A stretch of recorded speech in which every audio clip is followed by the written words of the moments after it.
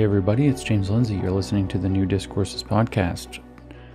I want to talk about social emotional learning again, but this one's a little bit different. Um, I'm, I'm not going to go through a uh, typical woke document or something like that. I'm not going to talk off the cuff specifically, but it's going to be kind of barely both of those.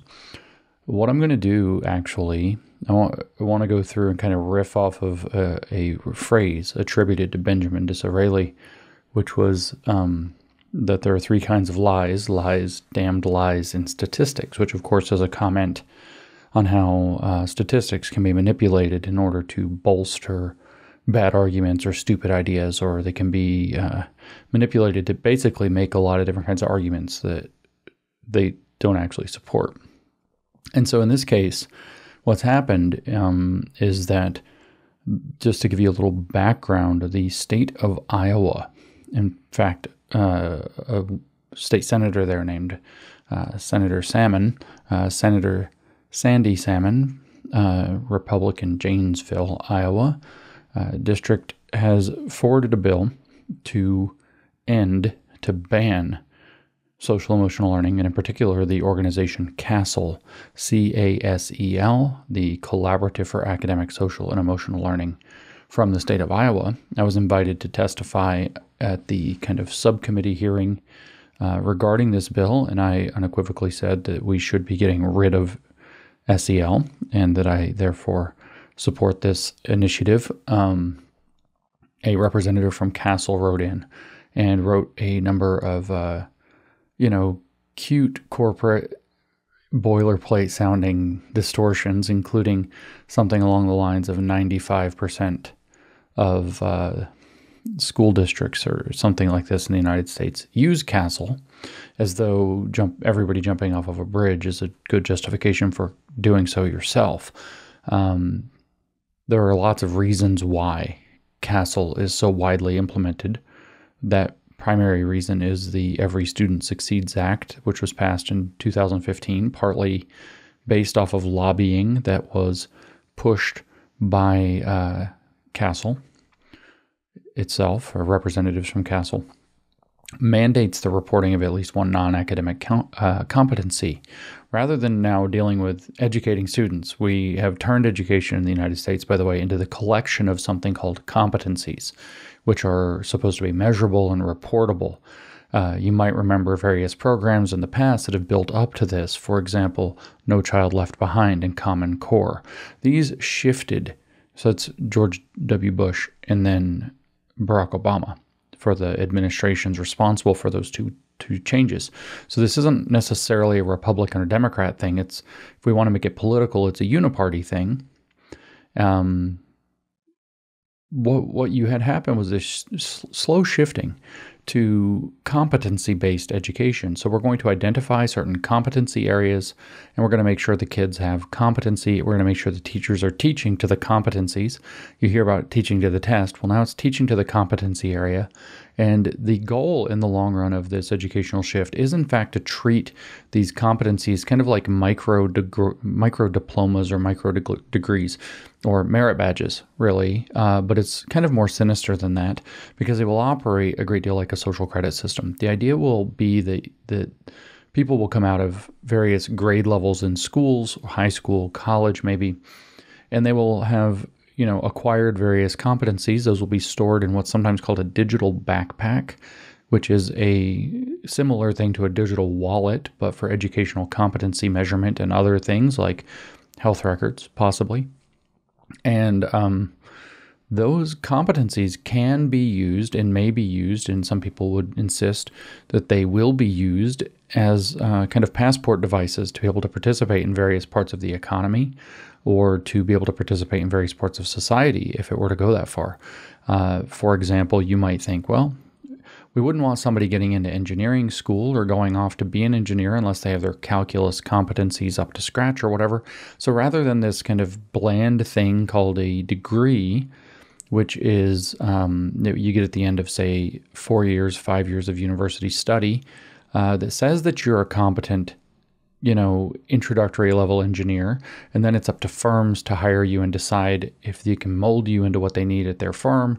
or if, you know based on what they did, you know think now you're going to have these much more specific competencies that are going to tell people allegedly what you're good at and you're thinking well okay physics mechanics um, statics dynamics calculus differential equations these are okay you know you can actually measure things but we also have the problem that uh, the economy of the future we're told endlessly is based in these social and emotional skills, these so called soft skills. And so while we might have things like mathematics competencies or calculus competencies more specifically, or maybe even differential calculus competencies even more specifically, not sure how granular they would, would want to make that. They could make it as granular as they want with these kind of digital backpacks, but we'll also have things like LGBTQ ally competency social awareness competency. In other words, are you aware of the systems of power that structure society? Equity competencies, inclusion competencies, sustainability competencies, competencies in the 17 Sustainable Development Goals of the United Nations. You can see where this can go off the, the rails real fast they can get into some dark areas. Are you actually competent in race relations sufficient to be hireable and not be a so called legal liability under our distorted interpretations of the Civil Rights Act and what would be called the Equal Protection Clause of the 14th Amendment if it were not for the fact that it's being treated as an equitable protection clause? By the way, just speaking kind of legally, we have an equal protection clause in the 14th Amendment, and we do not have anywhere in the United States an equitable protection clause. And that's sort of at the root of how a lot of this woke garbage has conquered. Um, it conquered its way into a lot of institutions using uh, liability distortions uh, on bad jurisprudence that are not actually uh, distinguishing clearly enough between equity and uh, equality and understanding the equal protection clause in a vague way that enables them to tr- misrepresent it as an equitable uh, an equitable protection clause, which is assessed via disparate impacts. The idea is that equality is only truly being achieved if we can measure it in terms of equal outcomes or equal impacts, as they call it.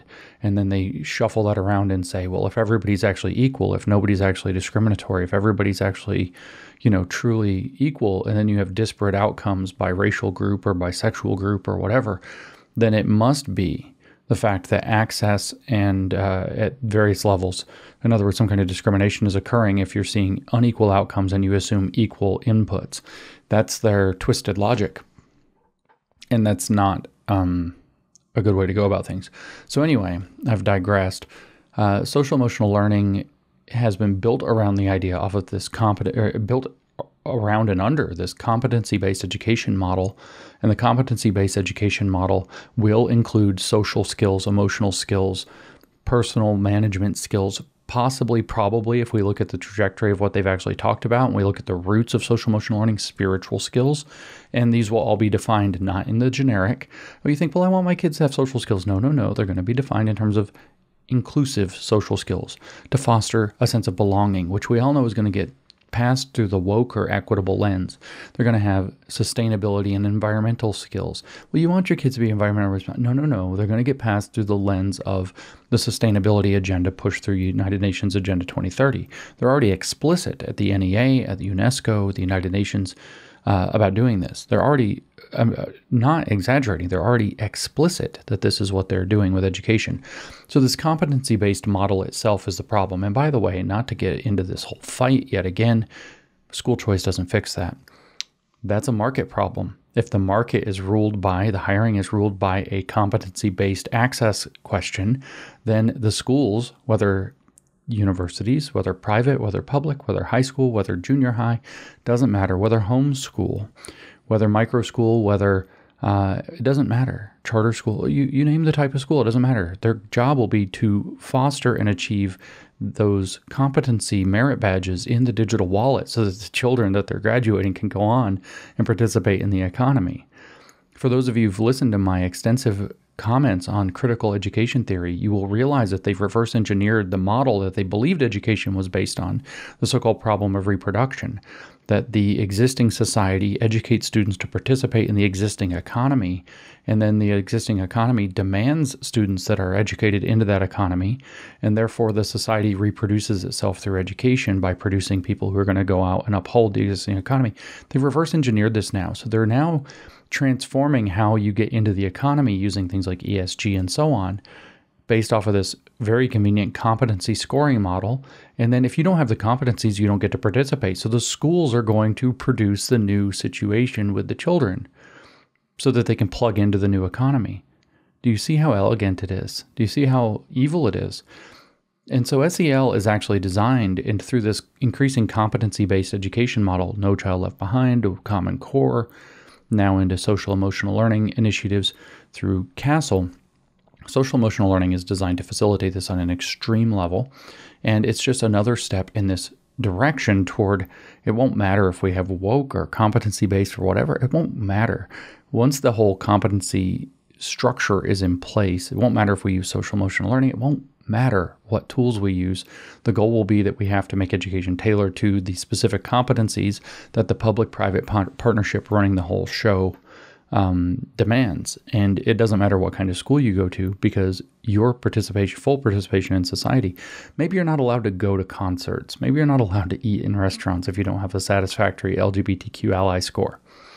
If your competency is weak, maybe your passport turns from green to yellow to red to orange or something in between and you're just limited in what you can do unless you go take some you know online training courses and get all the right answers to their to their brainwashing program how do I think that this could possibly be the case? Because I've seen, I've been to China. I know how their social credit system works.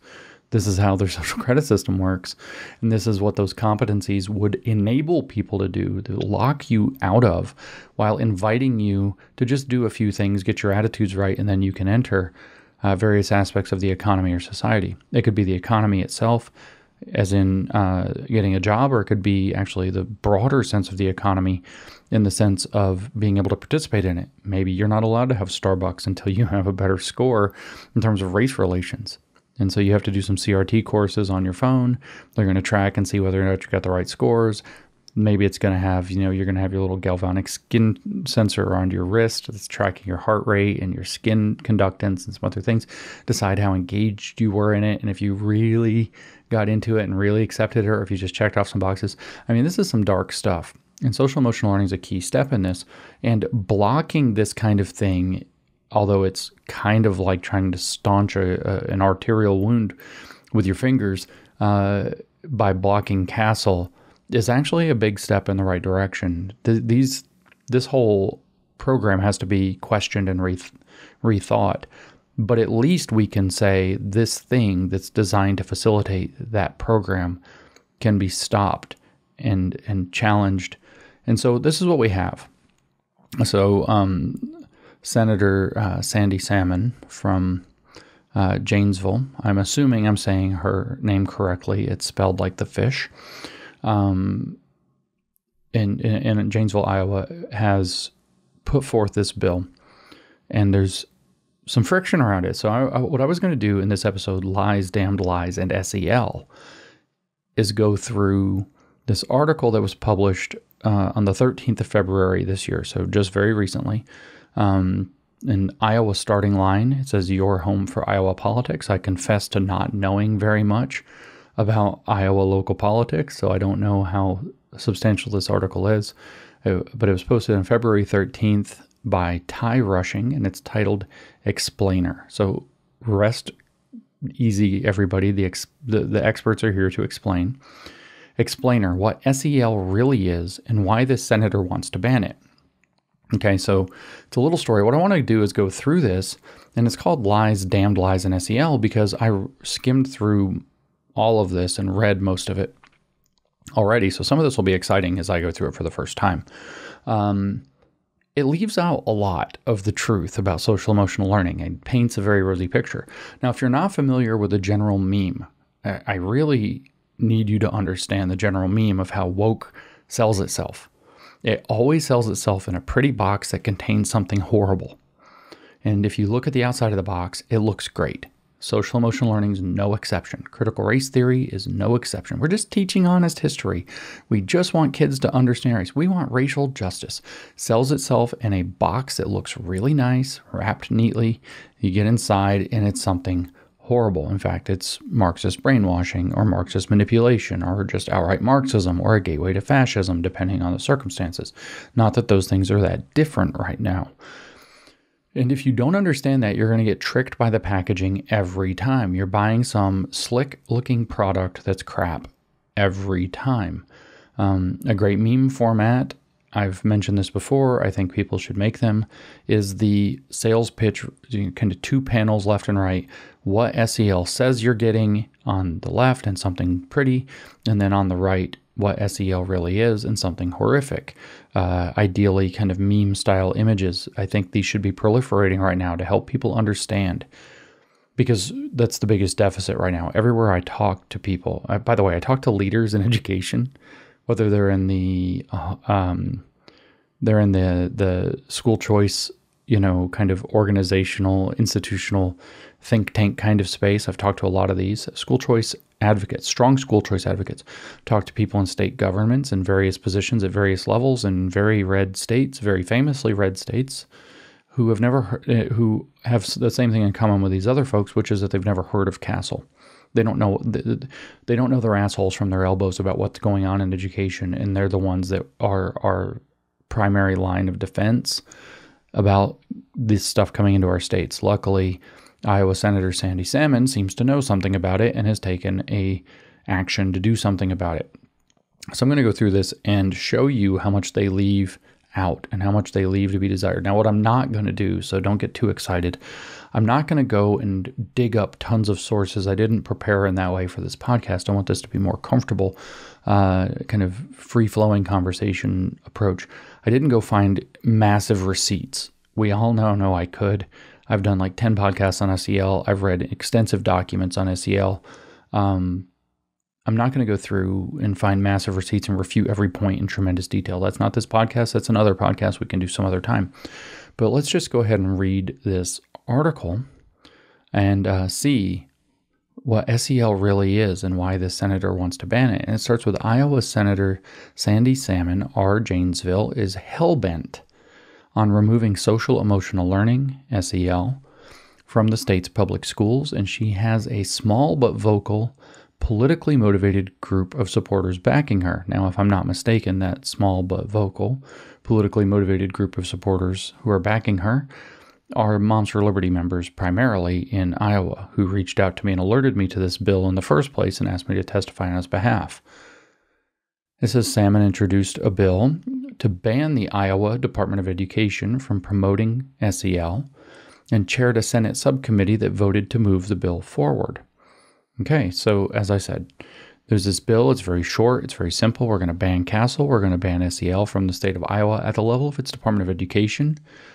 And um, there was a Senate subcommittee, and she chaired that to make sure that the bill would advance. And as far as I understand, the bill did advance. I testified in favor of the bill advancing. The senator and her supporters, so I'm part of this wild band of supporters, by the way. Although I'm not an Iowa local, I did go to Iowa. It was fun. I got to walk across the Skunk River uh, in Ames a number of times. It was pretty.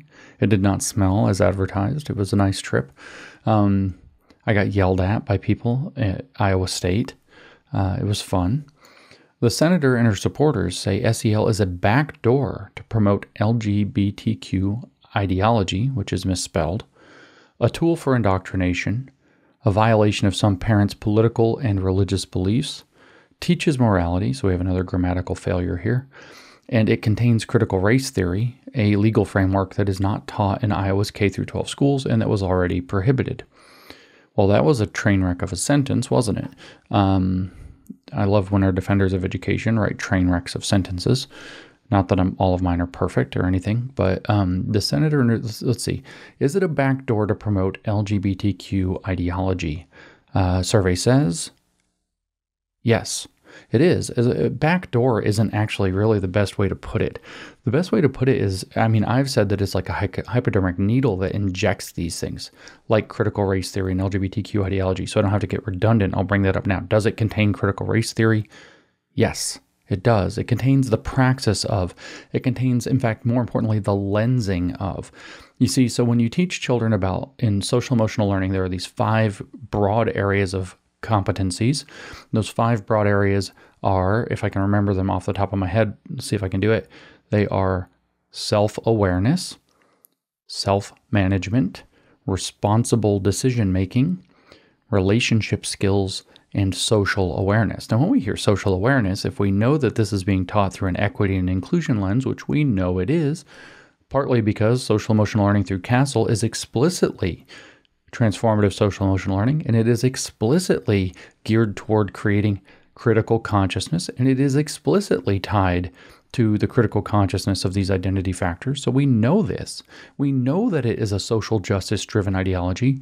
We know that Linda Darling Hammond, one of her one of the primary people who's been pushing for SEL in the United States all along, wrote the foreword to the Handbook of Social Emotional Learning, and that she said that it's a vehicle for creating critical consciousness and in fact that to be socially and emotionally compliant or competent within a school is in fact to embrace Paulo Freire's radical critical pedagogy, and in fact, his method of so called humanization and transformation.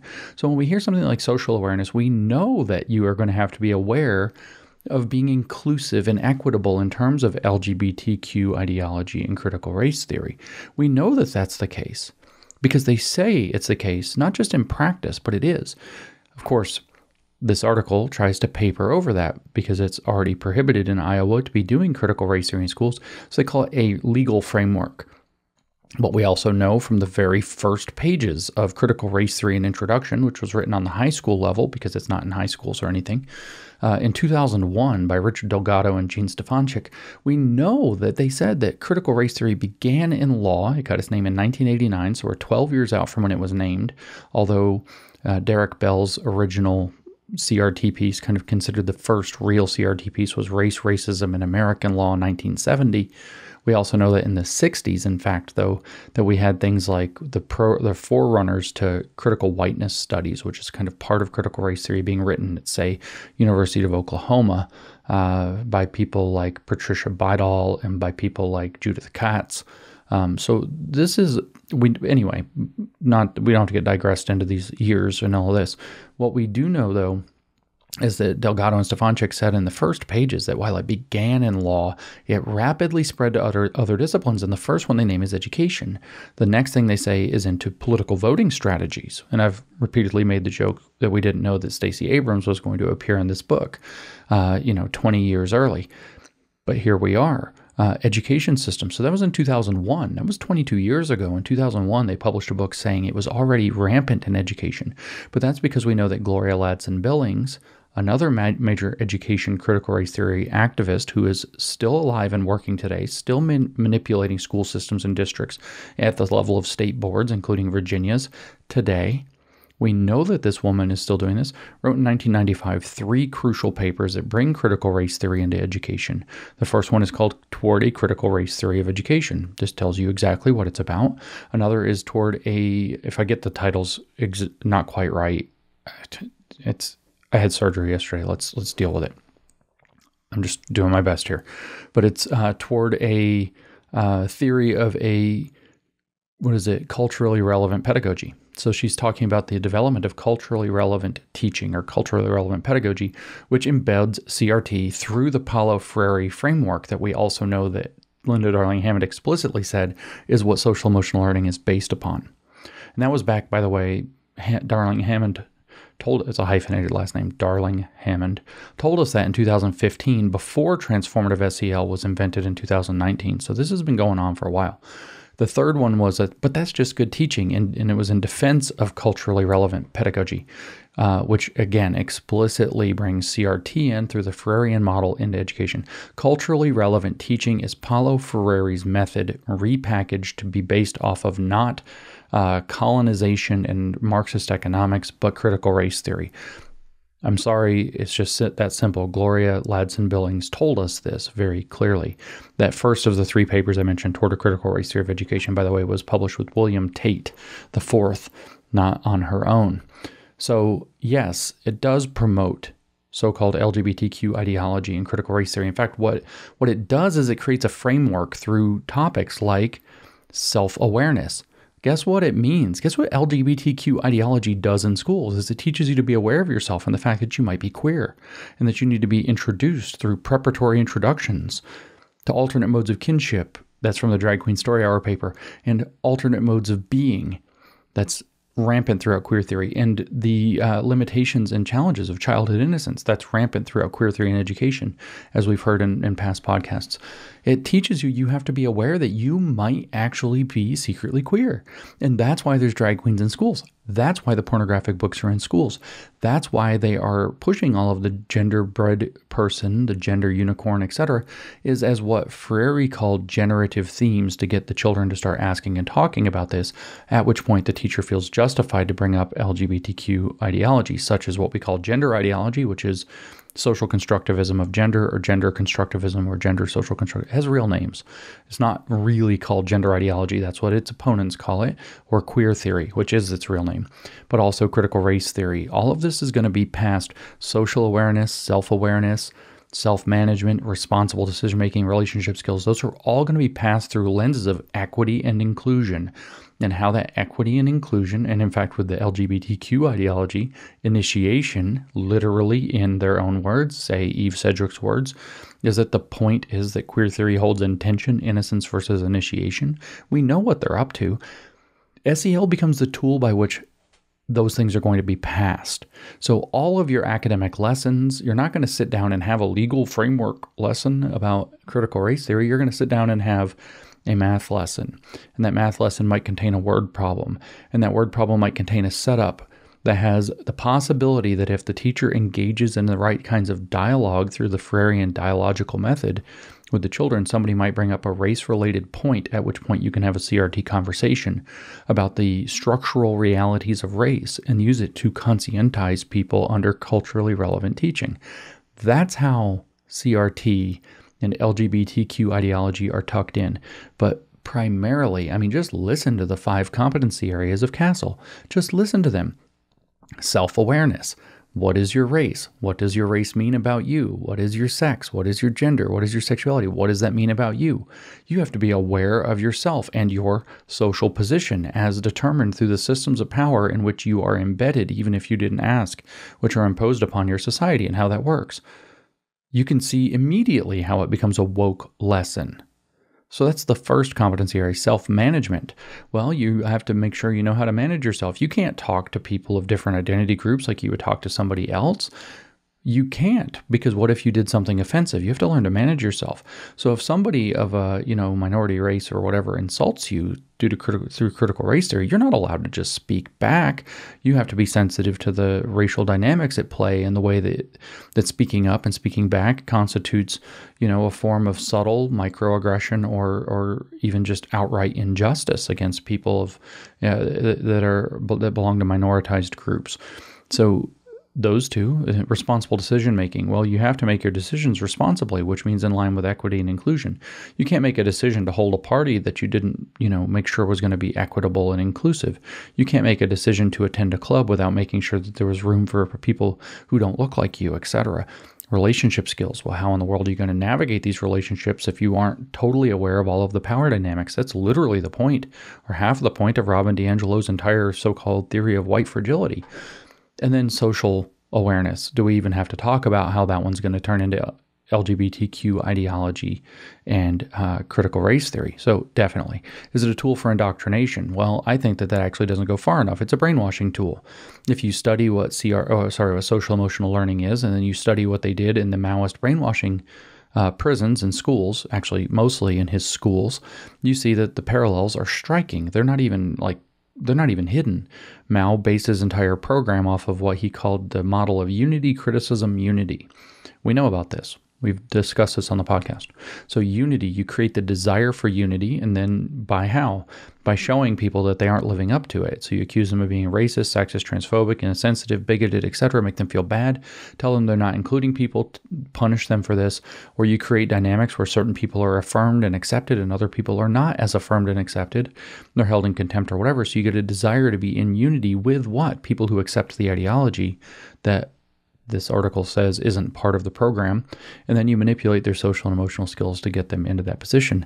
And then what do you do when you get them in? Well, you bring them into struggle sessions. You bring them into a situation where you criticize them for their uh, short sightedness, for their selfishness, for their whatever, bourgeois values, their white supremacy, their transphobia, their homophobia, even if it's latent, even if it's hidden, even if it's internalized. So maybe they're gay and they are still tra- uh, homophobic or whatever and internalize homophobia. Maybe they're a woman and they think that being a girl is okay, so they have internalized sexism or something like this. And uh, then you pressure them and make them uncomfortable, but you tell them that unity lies in adopting the ideology when everybody in the ideology is getting affirmed. So you bully people who aren't and then you accept people who are, and you create a tool for brainwashing, not indoctrination. Indoctrination comes along with, though, you are when you do the Freirean method that's at the heart of the social emotional learning approach, as Linda Darling Hammond told us, when you do that, what you're actually doing is that you are bringing them into not just this kind of emotional and social roller coaster that I explained. The point is to get them geared up for the process of study. Uh, you want them to study the doctrine of, in this case, woke. You want them to study why racism is systemic. You want them to study why sexism and homophobia and transphobia work the way the LGBTQ ideologists say they do. So, in that case, you are actually indoctrinating them into social constructivism, or in fact, critical constructivism, and awakening them into what's called a critical consciousness. So, it is a tool for not just brainwashing, but indoctrination. So, the senator and her supporters so far are batting a thousand on this. A violation of some parents' political and religious beliefs. Well, absolutely. It is not a parent's political beliefs to have their kids go to school and learn leftist interpretations, equity, inclusion, and sustainability interpretations of everything in their lives in place of their mathematics lesson. Using the mathematics lesson merely to set up the conversation in what Freire calls a generative approach. It's simply a violation of their political beliefs, but religious beliefs as well. Why? Say, well, if it's injecting LGBTQ ideology, the gender unicorn, the gender bread person, etc., you're asking them to affirm a belief uh, in a particular uh, view, which I would in this case call queer Gnosticism, which is a religion, um, a sort of a cult religion about how gender works, which is in direct violation to, say, Christian teachings, Jewish teachings out of the books of Genesis, or book of Genesis, I should say, and, and the two faiths, uh, Muslim teachings, etc. In fact, there's actually not a religion in, in except for some of the pagan religions uh, that uh, support the idea that men can become women and women can become men, except also Gnosticism, for example, in the Gospel of Thomas, where it explicitly says, the, the Gnostic Gospel of Thomas explicitly says that. Um, but it is definitely a violation of a parent's religious beliefs. teaches morality. Well, yeah, of course it does. That's what the equity, inclusion, and sustainability lenses are. It's teaching people how to be a good person in social and emotional ways.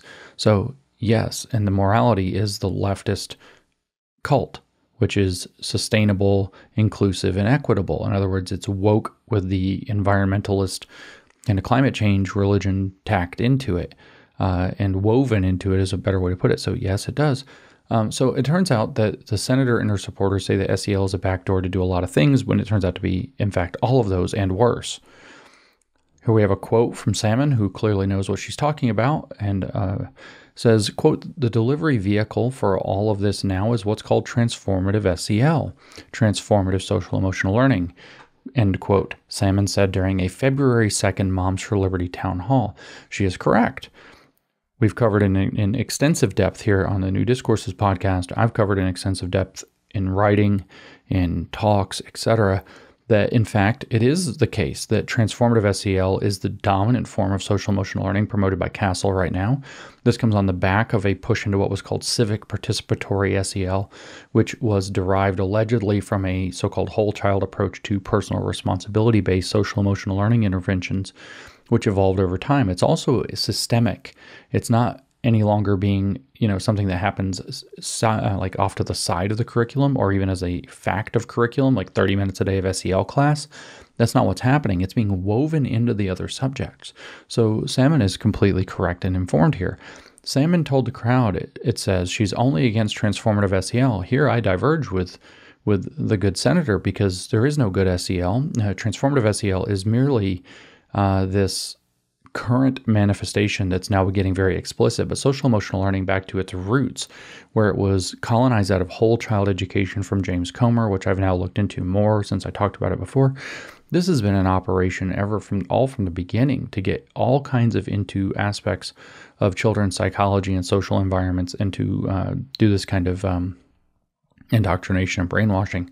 There's nothing good. There are ways that you can interact with in professional environments to deal with children with their social and emotional issues that might be related to learning, but there's absolutely no justification for any program called social emotional learning, and it's outside of the school's purview, period.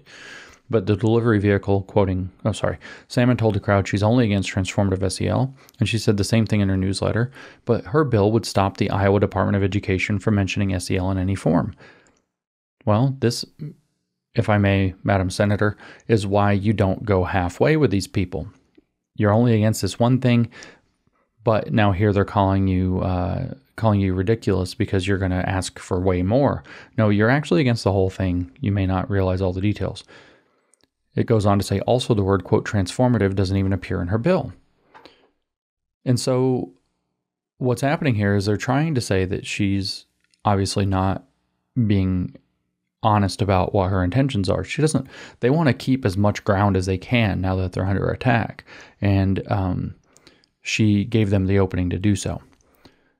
Then there's this weird thing. It says what's really enter in a dash, and it doesn't finish this sentence. I assume the word is interesting, but there's no more. What's really enter, and then it's almost like the writer interrupted himself with a question in boldface. So, is Senator Salmon right about SEL? I don't understand why there's this hanging beginning of a sentence that doesn't clarify anything. But anyway, it goes into this new format from here, which is this question and answer, presumably with himself, herself, itself, they self, fish self, tree self, whatever the frick this lunatic's pronouns are. So, is Senator Salmon right about SEL? And the reply oh, hey there, as if, you know, coming back from their reverie of interruption, like they were talking, right? Like this is a weird thing to do. Let me try to use two voices to, to, give you a picture of what I'm actually reading on the screen here. Salmon told the crowd that she's only against, quote, transformative SEL, and she said the same thing in her newsletter, but her bill would stop the Iowa Department of Education from mentioning SEL in any form. Also, the word, quote, transformative doesn't even appear in the bill. What's really enter, so is Senator Salmon right about SEL? Oh, hey there. It's like he's talking to this um, she, it, tree, bird, queer, queen, Frank, hot dog. I don't know what, what what's your pronouns. Um, talking. It's like he's pretending that he's in this monologue and somebody interrupts him with a question and then oh wow you're here this is all happening instead this is like this is actually a symptom of something called schizoid personality disorder which is not a surprise it's a really weird thing to have put in this article in the Iowa starting line. Very strange uh, stylistic approach. Oh, hey there. The short answer is no. Is Senator Salmon right about SEL? The short answer is no. Well, no, it appears to me so far that the short, short answer is mostly yes, but she actually isn't bold enough to go far enough. Um, for whatever reason, politics being what it is. Uh, he, it, she, bird, tree carries on. The Iowa Department of Education's website lists five key parts of SEL self awareness, self management, social awareness, relationship skills, and responsible decision making. See, those are the CASEL 5 competency areas. Just like I said, I should have just like spun down here and read them and started trying to remember them off the top of my head, but I did. I did really great. In fact, I remembered them in the correct order because they are in a correct order. They are a progression and they are not in the correct order here. But um, that's irrelevant because the questioner, the imaginary questioner, now interrupts again. It says, Cool. You threw a lot of words at me. But what's SEL mean in plain English? And it says, quote, I'm assuming it's quoting from the CASEL website. It is. Okay. Oh, no, sorry. that's from a CASEL representative. Put really simply, let me just change the word really to two. Put too simply. You remember that thing, the Motte and Bailey? It comes up a lot. It's just this. It's just that. It's not a brainwashing tool. It's just this. It doesn't have critical race theory. That's just a legal theory. You know, that whole game where they pretend that there's this totally defensible thing, this is what they really mean, when in fact they're doing something very radical and they don't want you to realize it this is what's happening here. Put really simply, let me do my SEL representative voice. Put really simply, see, it's saccharine. It's disgusting. They're being nice while they're being evil to you. So you can't just slap them. Don't slap people. I'm not advocating violence. Put really simply, social and emotional learning is really the way that we develop important life skills that help us navigate all parts of our lives. So these are skills like communicating effectively, like practicing curiosity, or staying motivated and making decisions that benefit ourselves and other people. End quote. That's how Justina Schlund of the Collaborative for Academic Social and Emotional Learning, CASEL, explained it to me. She even gave me an example of how it could be used in the classroom. I'll come back to that. So, that voice I did, by the way, that saccharine voice, did you notice what I said in it didn't say anything? They always do this. They say stuff that sounds good but doesn't say anything. What is social emotional learning? Could you explain it in plain English? Put really simply, what? It's how we develop important life skills. Like what? That help us navigate all parts of our lives. Sounds like snake oil. Sounds like a big promise that a guru would make or a religion. It's going to help you navigate all parts of your lives. Never addressed anywhere in this is why in the world the school should be involved in it in the first place. Now, they do have an answer for that, and it's a bad one. It is a dialectical inverted answer. If you've been following my podcast, you know that dialectical inversion is when they lie and say all the different things are really kind of the same thing and theirs is the only good one. And it goes on. So these are skills like communicating effectively. Okay. So the school has to like dedicate like are we talking about a communications class? Like what? No, you're talking about talk circles and support group activities. Like practicing curiosity. Practicing curiosity. These are the least curious people I've ever seen in my life. What are they talking about? Or staying motivated and making decisions that benefit ourselves and other people, and other people, and other people, and other people, because it's collectivist and other people that benefit ourselves, it should say through benefiting other people, because it believes that by benefiting the world, we benefit ourselves.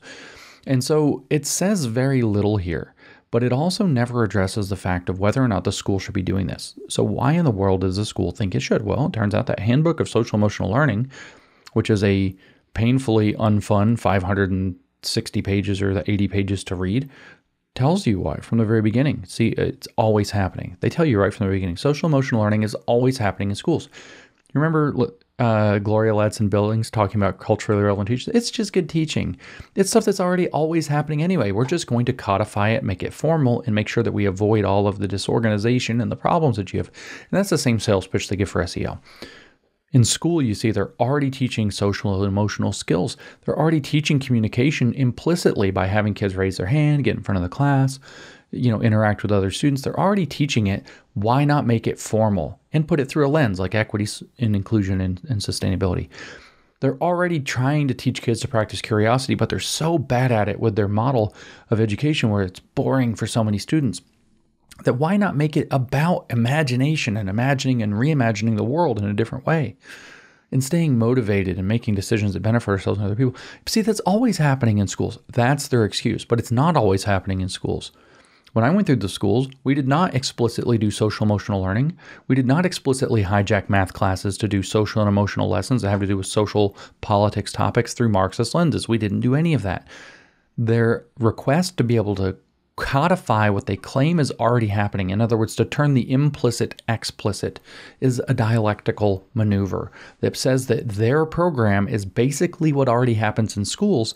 So we're going to devote resources to making it more explicit and real. Well, you know what? Guess what? You don't have to actually make everything explicit and uh, like that. You don't have to. It's not beneficial to make everything explicit like that. And it's not beneficial to reorganize it and use it as an excuse to turn it into an explicit program where there are particular lenses by which communicating effectively, you know, like not talking the wrong way to a minority or um, not microaggressing or whatever other inclusive bullshit you want to work into it the, it turns out there are lots of ways to to bring in a program that, that is not what should be going on in schools under the um, under the aegis of these kinds of very vague uh, saccharine uh, claims and requests or, or, justifications. So anyway, that's how Justina Schlund of the Collaborative for Academic, Social, and Emotional Learning explained it. Now, there's every uh, every chance, by the way, before we get mad at Justina Schlund for being a dirty communist liar, as we probably could and maybe should, we maybe shouldn't because it turns out that there's I don't know Justina Schlund, but I do know that some executives at CASEL have spoken with some friends of mine, and my friend's assessment is they don't know their assholes from their elbows and don't have the slightest idea that they're pushing communist garbage. They a lot of them at the top of CASEL just think that's good teaching, just like Gloria Ladson Billings said with her deliberately Marxist program that she was calling culturally relevant teaching. They have no idea that they're pushing literally Maoist brainwashing using tools like queer theory, so called gender ideology, and critical race theory, and sustainability theory from the United Nations, and comprehensive sexuality education rooted in queer theory and gender ideology. They have no idea that that's what they're doing in many cases. I don't know if Justina Schlund is that way or not. In other words, I don't know if she's feeding Miss Alina bullshit or if she's actually just that ignorant and stupid. Turns out that there is enough plausible uh, gray area here that we don't know. Um, but here's the example she said uh, how SEL could be used in a classroom. Maybe I'll answer with a different one. You've heard it before, but she says, let's this is not a quote by the way, this is paraphrased. Let's say you're a third grader getting frustrated by a tricky math problem. Instead of getting mad and giving up or acting out in class, you would pause, reflect, and try a different approach to solving the problem. So that means teaching mindfulness. It means hey, are you having an emotional reaction? Let's do something different. You know, all those kind of like very inspiring scenes you see with tutors and parents who are making breakthroughs, and occasionally like the Stand By Me or Stand and Deliver or whatever teacher it is, Stand and Deliver, I guess. I get my movies mixed up sometimes. I don't watch them. Um, all that inspiring crap that they envision themselves to be. Uh, but the question is, is that really what you should be doing in class and how much of it? Is that really what it's about? It says, or you could work at, work with a partner or in a small group, which a lot, because group work in schools is really freaking great, right? This, in practice, like you have this vision that like all these little kids are going to come together and try, but everybody knows that it's like one kid's doing everything and everybody else is pissed off or screwing off, and the one kid's getting more and more mad. Or you could work with a partner or in a small group so you can practice your communism that doesn't work, which allows you to practice your collaboration and teamwork skills and learn to listen to another person's perspective on the situation. I've done zero group activities in classrooms that have ever worked that way. Zero. I don't know how many I've had to do, but zero have ever worked that way. Once you have an answer to the problem, you could share it out loud with your class as a way to practice communication skills. That is so thin and stupid, but here's what really happens this is a real example from our real SEL training, courtesy again of Jennifer McWilliams. I've brought it up many times. She shared it many times. I have her permission to share it. I'm glad that she gave it to me. It's in my book, Marxification of Education. I considered it so important. I've said it repeatedly on television. I've said it in talks. I've said it on stage. I've said it everywhere. Said it to Ben Shapiro recently. Um, it's a simple word problem. Johnny is riding in the car with his mom and dad on the way to an amusement park. The amusement park is 50 miles away. They've driven 30 miles. How many miles are there left to go? So there's a tricky math problem for second graders, not third graders, granted. And what the teacher is instructed under SEL to do is to bring up the idea of amusement parks to raise engagement, to get the kids interested who's ever been to one. And then the next thing you know, some kids raise their hand, some kids don't. And the next question is, well, why is it that some of you have been and some of you haven't? How come some kids don't get to go to amusement parks? Well, my parents said no. So now you can have a conversation, a woke conversation about parental authority. Maybe it's better if the school makes those kinds of decisions. Maybe you guys should be able to make decisions for yourself. Don't you feel like you could make those decisions?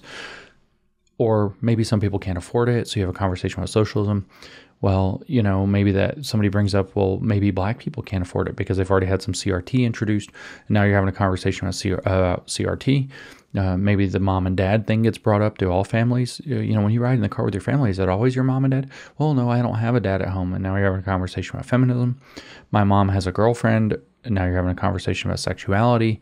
Uh, on woke terms, the inclusion and equity and sustainability lens keep coming back. And in sustainability, should you be riding the car?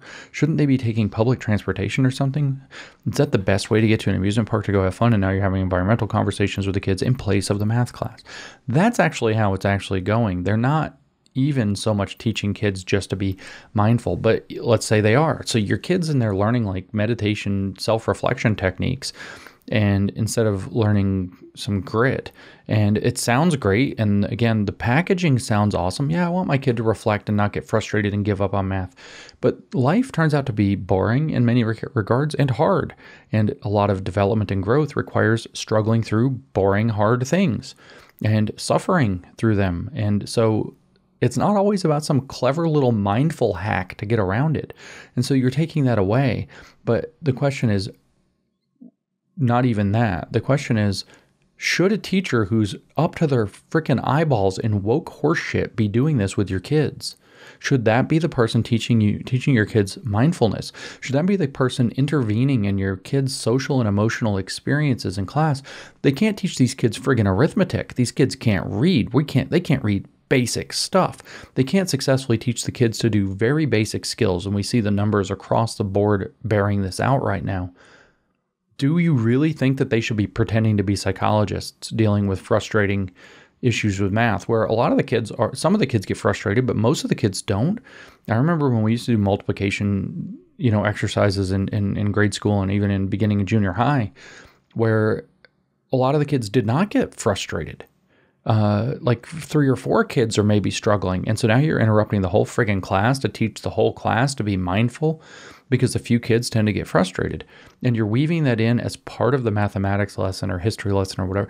This is actually complete. When you start to unpack what's actually there, when you get inside the pretty box, what's there is completely inappropriate and completely um, ridiculous. And so, of course, I'm at, I try to picture myself getting put through this like I was good at math.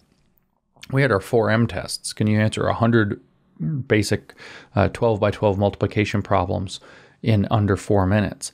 And you know, you got to get a prize if you could pass. If you did your 4M test and you got a 100 on all, so you have 100 questions are worth one point each. If you could get all 100 in four minutes, then you're, you know, you get some prize.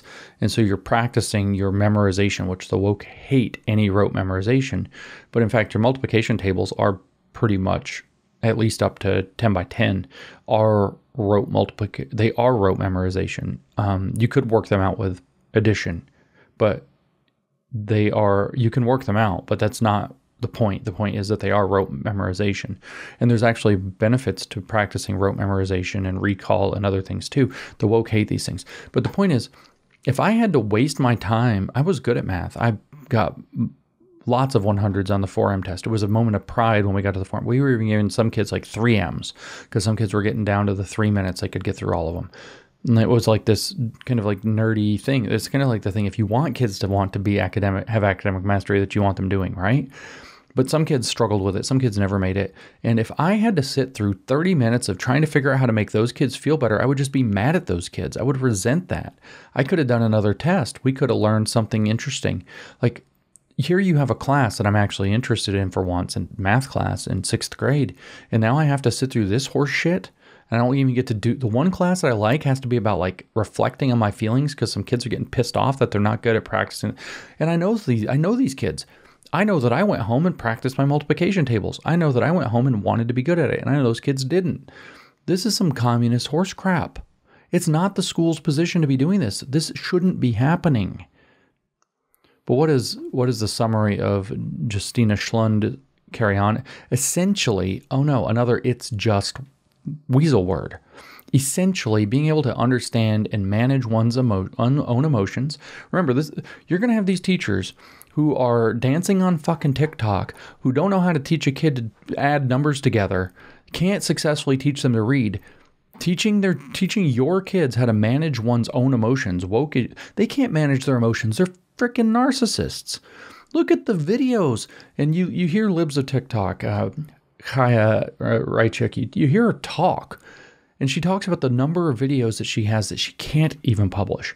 Not because they're so inappropriate, because there's too many of them, because you can't beat the dead horse that far into the ground. every school system, every district. These teachers are emotional basket. You have teachers trying to get affirmed in their sexuality by third graders. This person is supposed to teach your child to manage his own emotions. Are you shitting me? This person belongs in therapy or an asylum, not in a classroom. And that's the person that social emotional learning advocates are going to stick in front of your kid to tinker in their social and emotional. You have this maybe platonic ideal of a caring and loving teacher. No, they're fucking woke idiots. They came out of woke indoctrination programs in schools overwhelmingly, colleges of education overwhelmingly who are there for weird reasons like wanting to affirm themselves, wanting to be that one gay role model for the three gay kids in the school and are now 25% of the gay kids because they created weird social incentives to want to do that with the brainwashing program.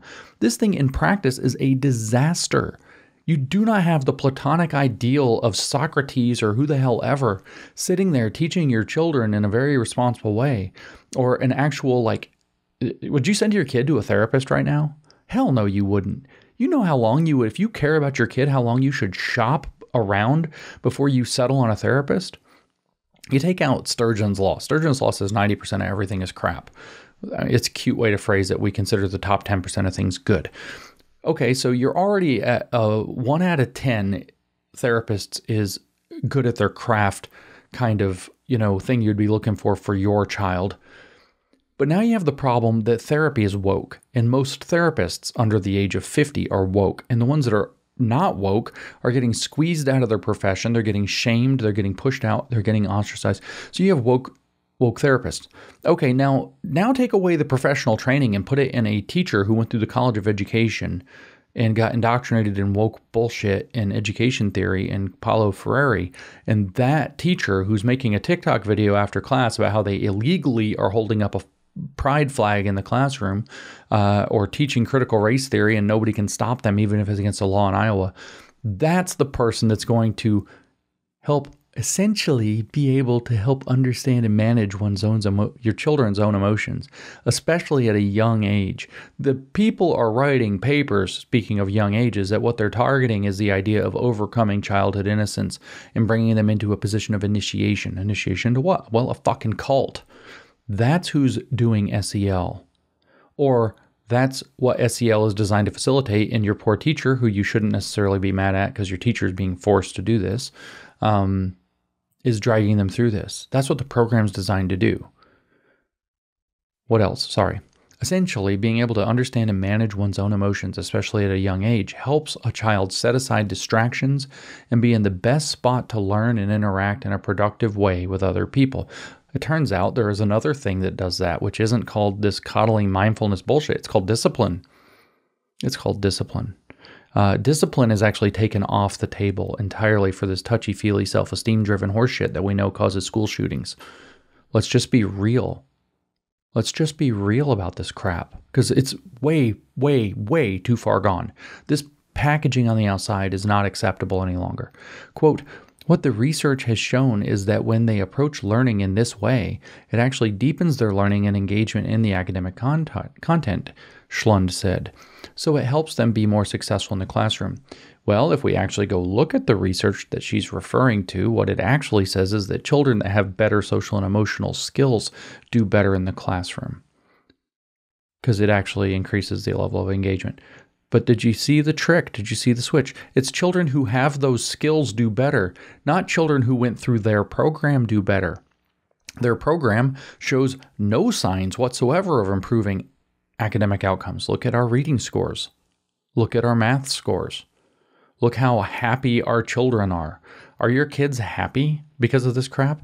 No. I hear reports out of Iowa specifically, out of these districts specifically, about children being dragged through some kind of a book series, grades three through five, that some dystopian novel, Shadow People, Shadow Children, something like this. I haven't checked into this myself, and they're coming home depressed because they're being those, lessons are those books are already dystopian. It's talking about all these poor, something like you know you're only allowed to have so many kids. Again, I don't, I haven't read these things yet. And so then there's illegal kids, and they're the shadow children, and they have to be you know They have to sneak around and get secret food, and they they're not allowed to live, and their parents are in trouble, and there's like all this you know dark and dangerous stuff. And so people are being taught that you have to share your food with the shadow children. And kids are coming home depressed about how dark and dank the world is. And it turns out the days that they come home dark and dank are the days that they went through this book. And then they're getting lessons. They're talking to their parents like, well, we have to set aside food in case there's shadow children. I can't eat all of my dinner. I have to be able to share. And they're getting lessons on world hunger in, in consonance with the social, uh, sorry, with the sustainable development goal number two, which is already being worked into the schooling. What is hunger? In kindergarten, says UNESCO and the NEA uh, in the curriculum guide about bringing so, uh, sustainable development goals into the classroom through social emotional learning. So, what's actually, are your kids happy? Is social emotional learning making your kids happy? No, of course it's not. They talk about these inappropriate themes, not just sexual, but dying, death, hunger, starvation, misery, dystopia with children that are like eight and younger young children at a young age so they can teach them to manage their cognitive dissonance and emotions. This isn't this is not okay. So what the research has shown is that not what she said. Not what she said. This is a standard trick pulled by the social emotional learning bullshitters. Research has shown that children with better social and emotional skills perform better in academic settings. What it does not show is that the programs that they are, the interventions that they are implementing improve social and emotional skills at all because they have a weird definition for what social and emotional skills look like. It means going through struggle sessions and being uh, equitable and inclusive and belonging and constantly anxious about their social environment. It's exactly the opposite. It is such a disgusting lie. Can't get too mad at Justina Schlund because she probably, or Schlund, or it's spelled two different ways here. Schlund, Schlund. Yeah, the the author of this brilliant piece spelled it two different ways, so I don't know which one's right. I'm assuming Schlund is right and Schlund is not, but here it is in print. Whatever, such a good article. This we can't be mad at Justina Schlund because it's probably Justina Schlund is too ignorant to know what she's promoting. And this is the sales pitch that she's been taught to give. And she believes in it because she's a woke idiot this doesn't need to be here. So it helps them to be more successful in the classroom. If you ask them where's the data that the actual program that they're using makes these outcomes, you know what they tell you? They tell you it's a data driven program. In other words, we're gathering the data to be able to find that out. I mean, the, the, they don't have the data, and the program keeps changing from personal responsibility models into civic participatory models into transformative models. Down the road, we're looking at a possible switch into culturally affirming models, which are extraordinarily radical and insane, and explicitly explicitly Marxist, explicitly radical, openly radical. It was sent to the Department of Education not in a report, but a RADport, as a short for radical report. To completely transform this is transformative SEL and CASEL are a good first step. It's a good start, but they're they don't even get close. It's just white supremacy with a hug. In fact, it says, and so, um, this thing radically transforms. You ask them for data, say, well, it's a data driven model. You're like, well, what does that mean? So we gather the data, which means they data mine your kids and they use the data and they pass it through the same lenses equity, inclusion, sustainability. So they gather the data. Are the kids doing better? Well, a lot of kids are saying they're depressed. Well, we need more money. And there's a massive depression problem in the schools. Turns out they say that they need more money for more SEL because there's a massive problem and SEL would possibly fix it. They don't actually have the data to support what they're doing. They have some data that is kind of hit and miss about the early whole child models in a personal responsibility context before 2011. They have some data about the fact that kids with the true accurate data about the fact that children who do have better social and emotional skills do better academically. But the best way to get that is to have a stable, healthy two parent household in a, in a reasonably safe neighborhood. That's the best way to do that, and not an abusive, manipulative environment at school filled with struggle sessions and social emotional learning. And so the, this is the whole thing is turned on its head. So it turns out lies, damned lies, and SEL. This is just lies, damned lies, and SEL. But we're interrupted again. Did you ask anyone else? Remember, we're having a conversation with ourselves in a circle. Cool. So you threw a lot. This was a previous question. Threw a lot of words at me, but what does SEL mean in plain English? So they talked to Justina Schlund from CASEL, And now, did you ask anyone else? I did. Oh, he's so proud of himself. She, it, tree self, bird. Who knows? Caesar. The other person was Allison Finley, the student services director for Des Moines Public Schools. Here's what she told me quote, Social emotional learning provides the skills to both adults and youth to be able to recognize and understand their emotions, feel empathy, make positive and healthy decisions, and build and maintain positive relationships with others, she said. Doesn't it sound like Dolores Umbridge from Harry Potter? Yes, it does because of, there you go. So social emotional. Let's go. She, she, said more, but let's go through. Let's unpack some horse shit before we carry on. Social emotional learning provides the skills. Does it? No. In theory, it might, but we don't know because it's a data driven process, which means they have to gather your kids' data and then pass it through their own self justifying lenses to find out. Provides the skills to both adults and youth to be able to recognize and understand their emotions. Well, how about you learn to recognize and understand numbers? Haven't bothered to do that. Recognize and understand the letters of the alphabet and words. Maybe read cursive. Maybe understand what the Bill of Rights says. Are you working on recognizing and understanding those things? Why is it the school's business to be teaching to recognize and understand emotions? But then what's next? Feel empathy. Feel empathy. Could empathy possibly be misused in the woke context in any way whatsoever? Uh, I don't want that. I don't want them teaching my kids empathy. I don't want the school teaching my kids empathy.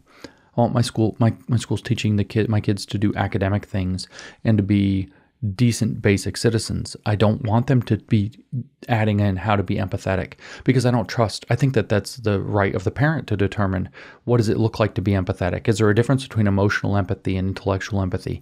Should when should empathy be applied and when should it be reserved? When should empathy when does empathy help somebody? When is in when is it good to care about somebody? And when can you be manipulated by it? When is it enabling? When is it abusive? I don't want them teaching this. They've proven to themselves incapable of teaching on empathy. Empathy is a word that sounds good, but has been so toxic for 30 years that we just walked ourselves into the present nightmare under its banner. I'm sorry, you've lost your license to teach us empathy, to teach our children empathy. So, social emotional learning does that on purpose. Okay, get it the fuck out of our schools. Get out. Bye. Sorry, no. I have no patience left for you people. Okay, recognize and understand emotions, feel empathy, make positive and healthy decisions according to whom? According to whom? That's what I want to know. Positive and healthy decisions. Healthy decisions about like what? Okay, maybe you're talking about drug use, maybe you're talking about sex, which better be age appropriate. Maybe you're talking about um I don't know what you're talking about. Exercise? I doubt it. Positive decisions. Positive for whom? This matters. This matters because we know what positive decisions means under a woke rubric. We know that becoming critically conscious means that you're going to make decisions on behalf of so called oppressed groups explicitly and intentionally. And you say, well, don't you want to help oppressed groups? No, I reject the framing of what they call oppressed groups. I reject their framing entirely of systemic oppression I think it's bullshit. I think it's manipulative Marxist crap. And so I reject it. They maintain positive relationships with others. With whom? Is positive relationships with others what we're actually seeing in the schools? Is that what your kids are experiencing? Because I don't think it is. I see fight after fight after fight, brutal fights, brutal fights, because restorative justice circles, restorative practices, not that those don't have their place at times, but as a primary means of dealing with it, where's discipline? Nowhere. Oh, we're going to talk it out. No police officers, just social workers. That's the idea. Maintain positive relationships with others. Well, it turns out when you create the woke landscape that's a manipulative situation, you're not creating positive relationships in a genuine sense. You're creating positive, so called positive relationships on the sense of that if somebody can make a real claim to a marginalized status, that you have to give them deferential and celebratory treatment. In other words, you're creating a gigantic incentive structure to lead kids into adopting marginalized identities. But what kind of a marginalized identity can you adopt? Well, you can, instead of just being black, you can be politically black. Instead of just being brown, you can be politically brown. Instead of being anything else, you can start to be one of the queer identities, or you can choose to start being disabled. You can choose to have a mental illness that you learned on social media. Um, now you have a problem. You, maybe you self diagnosed it, but doctors are just a medicalizing narrative in the society, a discourse of power that preserves the existing society. So we don't need a diagnosis. Do you see the problem? I don't, I don't, so Allison Finley, the student services director for Des Moines Public Schools, needs to be interrogated very vigorously as to whether or not she knows what she's doing. Because what she's doing here, if she doesn't, is negligent, and if she, what she's doing, if she does know, is is evil. It's deliberate. This is this should be actionable to get her out of her seat and possibly do uh, major financial damage. Uh, da- you know, suing for damages to the Des Moines Public Schools. This is negligent harm in a, in a grotesque way if she doesn't know what in the world she's doing, because she should know better.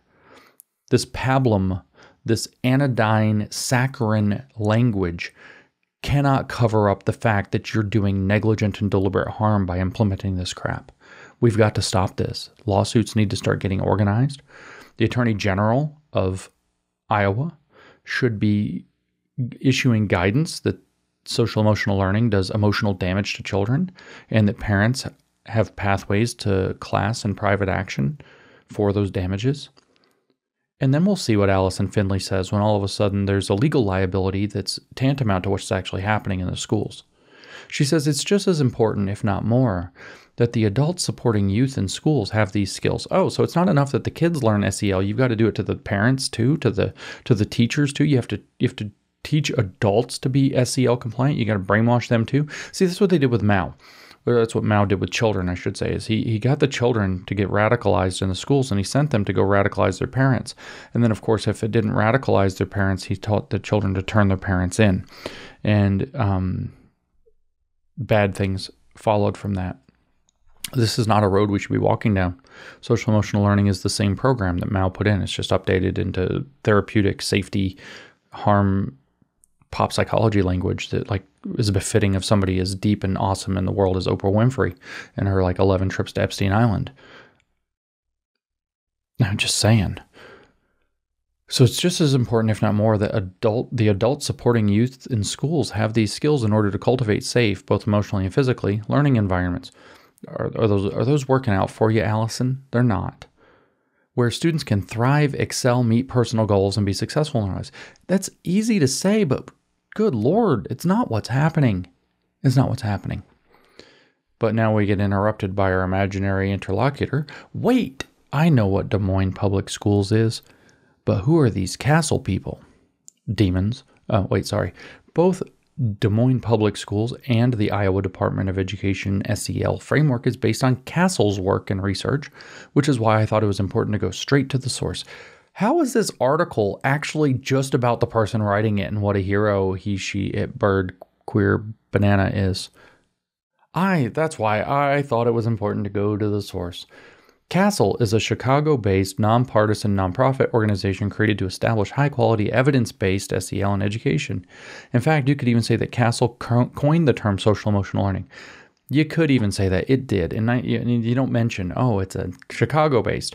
Don't mention that it came out of the Fetzer Institute, which is a weird New Age spirituality cult in Kalamazoo, Michigan, um, that was based off of Alice Bailey's teachings explicitly and extensively uh, under John Fetzer's, you know, program there at the Institute, which was to fuse spirituality and science in this weird New Age cult thing. It doesn't mention that the Fetzer Institute's literal foundation in Kalamazoo, Michigan, literally the physical foundation of the building, has a copy of the uh, lunatic Gnostic cult Course in Miracles.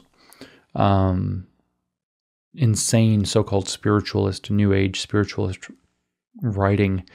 I can't articulate yet to you how crazy A Course in Miracles is. It doesn't say anything about the Fetzer Institute or its long time support or the fact that they still have a working relationship that they're both proud of.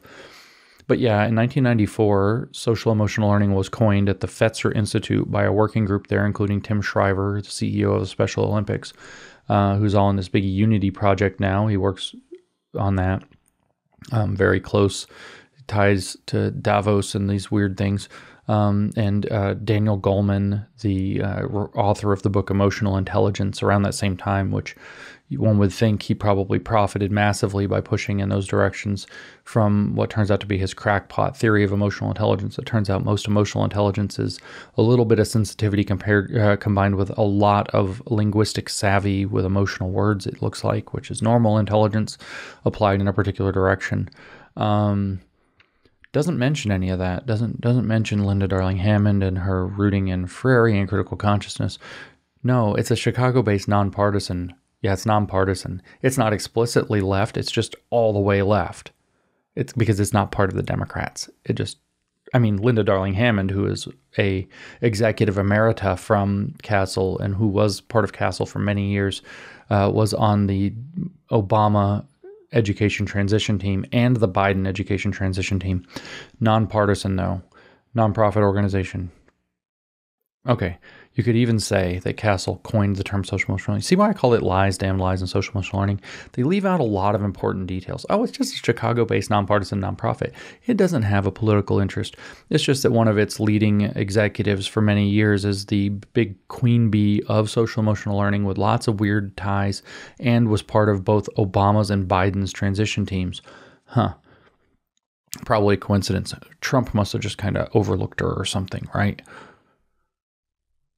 We get interrupted again, though. Where did SEL even come from? Oh, maybe they're going to tell us about the, the Fetzer Institute and Alice Bailey's education in the New Age and the science of right human relations and how it, the educator of the future will be far more psychologist than he is today and that the science of right human relations will be woven into every subject like mathematics, history, uh, philosophy and so on. Maybe they're going to tell us, right, in the Course in Miracles and all the weird channeling with the Archangel Michael and all the strange stuff with John Fetzer and all the weird money and the fact that the World Economic Forum has been pushing it very hard since at least 2015. Maybe they're going to tell us all this, right? It says, Where did SEL even come from? I feel like I'm only just hearing about it. And most of the political chatter is negative. Well, I really hope that that's people's first impression of it honestly now. But he tells us it, she, bird, tree self, elf, watermelon. I don't know. What's your what's your, what are your pronouns? I can't keep up. It's not new. CASEL was founded in 1994, but conversations around SEL started well before the term was actually coined, according to Schlund. There was a lot of activity, Schlund's words, there was a lot of activity happening in the 70s and the 80s where educators and researchers and parents were really sort of coalescing around the same insights and findings around students' learning, which was basically that their social, emotional, and academic growth were all deeply connected, she said. Really, which educators, researchers, and parents? The critical ones, the weird spiritualist ones, and the ones that support this, your your Oprah wine moms, like who are we talking about here, right? In the 70s and 80s, like I already told you, the social emotional learning movement cobbled itself into, really cannibalized from within, the already decidedly leftist program from James Comer. James Comer went to school with Alfred Kinsey, by the way. Uh, James Comer, who created the so-called whole child education model in Hartford, Connecticut in 1968. So we're talking about there's a lot of activity happening in the 70s and 80s where educators, researchers, and parents were coalescing around certain ideas about education. And it turns out that what they were is they were hippies and 60s radicals that had left their outright radicalism and gone into education. Some of the findings we're told were that students learn by how uh, emotionally connected they were to the material and that strong relationships and support in the classroom can help them perform better. There is some of that in the Comer whole child education stuff, but there's also lots of tendrils into Freire there. Uh, the emotional connection or engagement thing that Freire was so hooked up on that the, real education is a political education, and the way to get people engaged and wanting to learn the political context of their lives is to show it to them and radicalize them through it, and then say, hey, let's learn more about it, like how to read it politically and then actually in terms of literacy, which in practice very rarely happens because you end up radicalizing people who no longer see the point in reading, just like your kids uh, in school these days. Um, but that engagement thing is a hypothesis of critical education and has been. And I don't know that it's bearing out. How have our scores been doing? How, how has education been going since that was a thing? Well, not better, actually. Not better in any regard. Schuland, her name's no longer Schlund, it's now Schuland. So we have a third spelling of her name. Said researchers in different fields came to the same conclusions and were talking about these findings when the foundation for CASEL was laid. It's weird that they didn't mention the Fetzer Institute in any of this yet. Quote, we brought together in the mid 1990s educators, parents, folks from neuroscience, from child development, from education science, from all aspects of this to talk about, quote, how do we really support children's learning and development? Double end quote. Schuland said. So Schlund to Schulnd to Schuland. I'm assuming this is all the same person. Maybe we should just call her Justina. Maybe we should just call her where the fuck we want because it clearly doesn't matter to the author.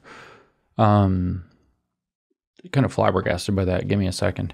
But yeah, okay. So they brought together in the mid 90s educators, parents, folks, and nurses. See, it sounds really good, right? Folks, folks, folks.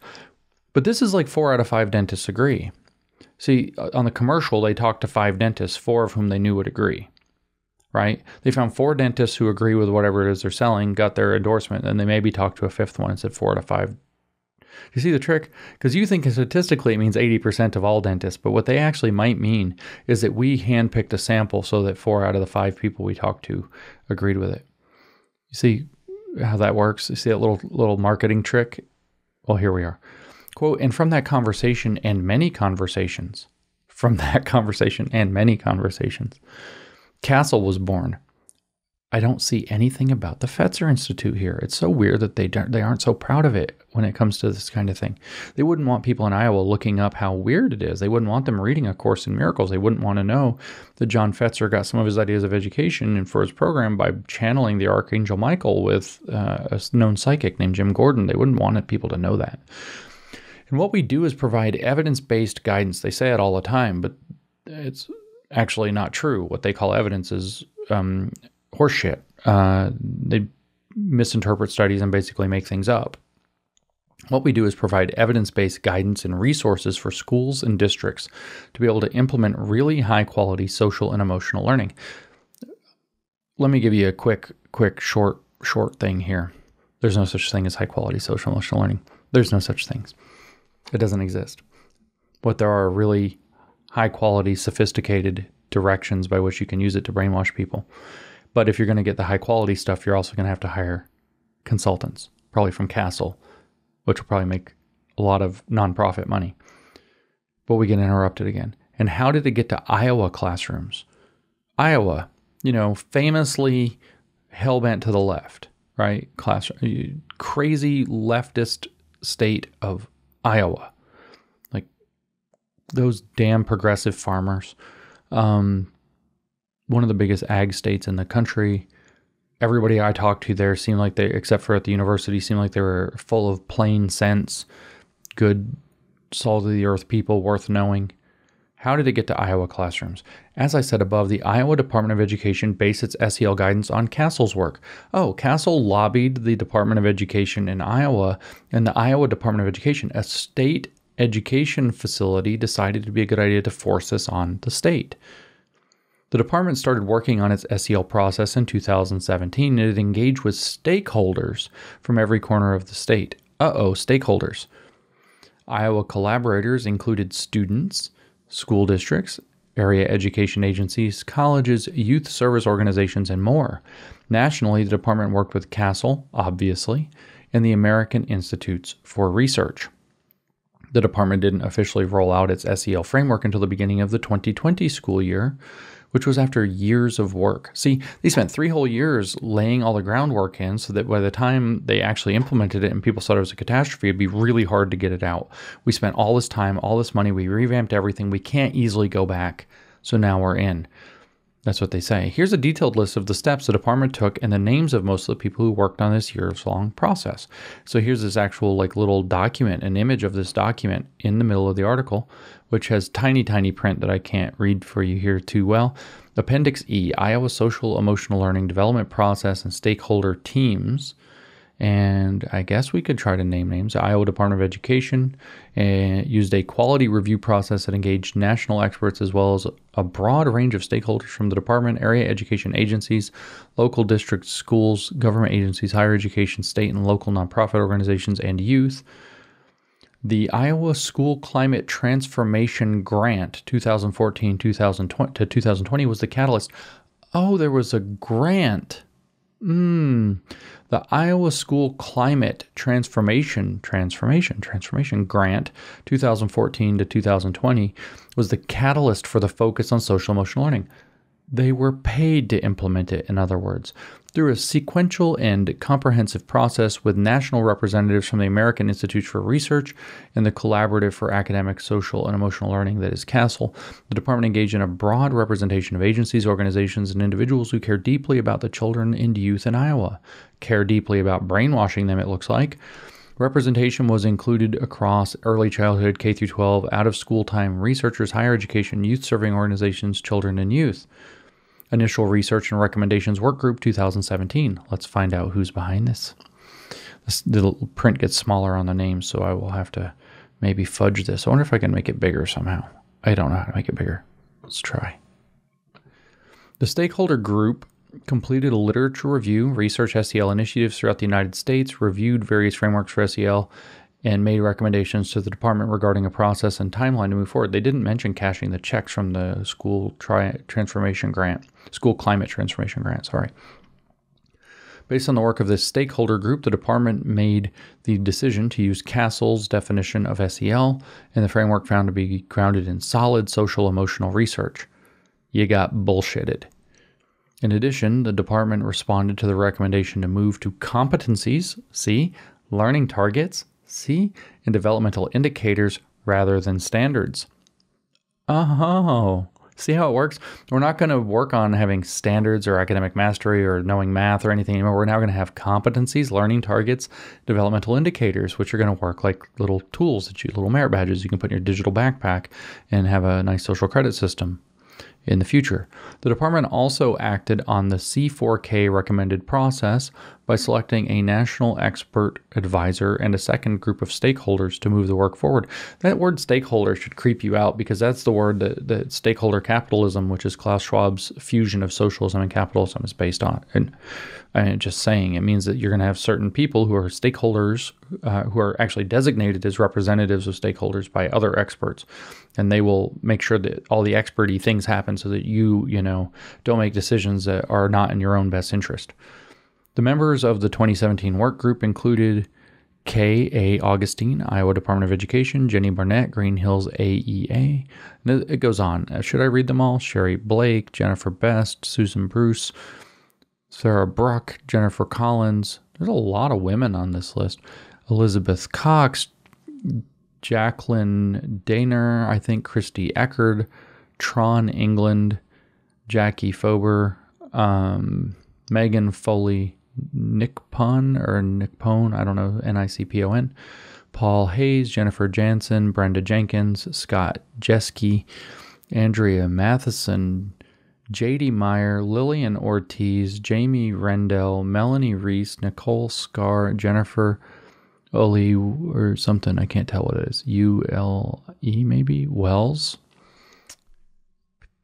That's a lot of great. There's a whole second list of names in the SEL Competency Stakeholder Group 2018 um, that developed it further. Uh, developmental indicators and competencies and learning targets were nailed down for K through 12, 3 through 5, 6 through 8, 9 through 12.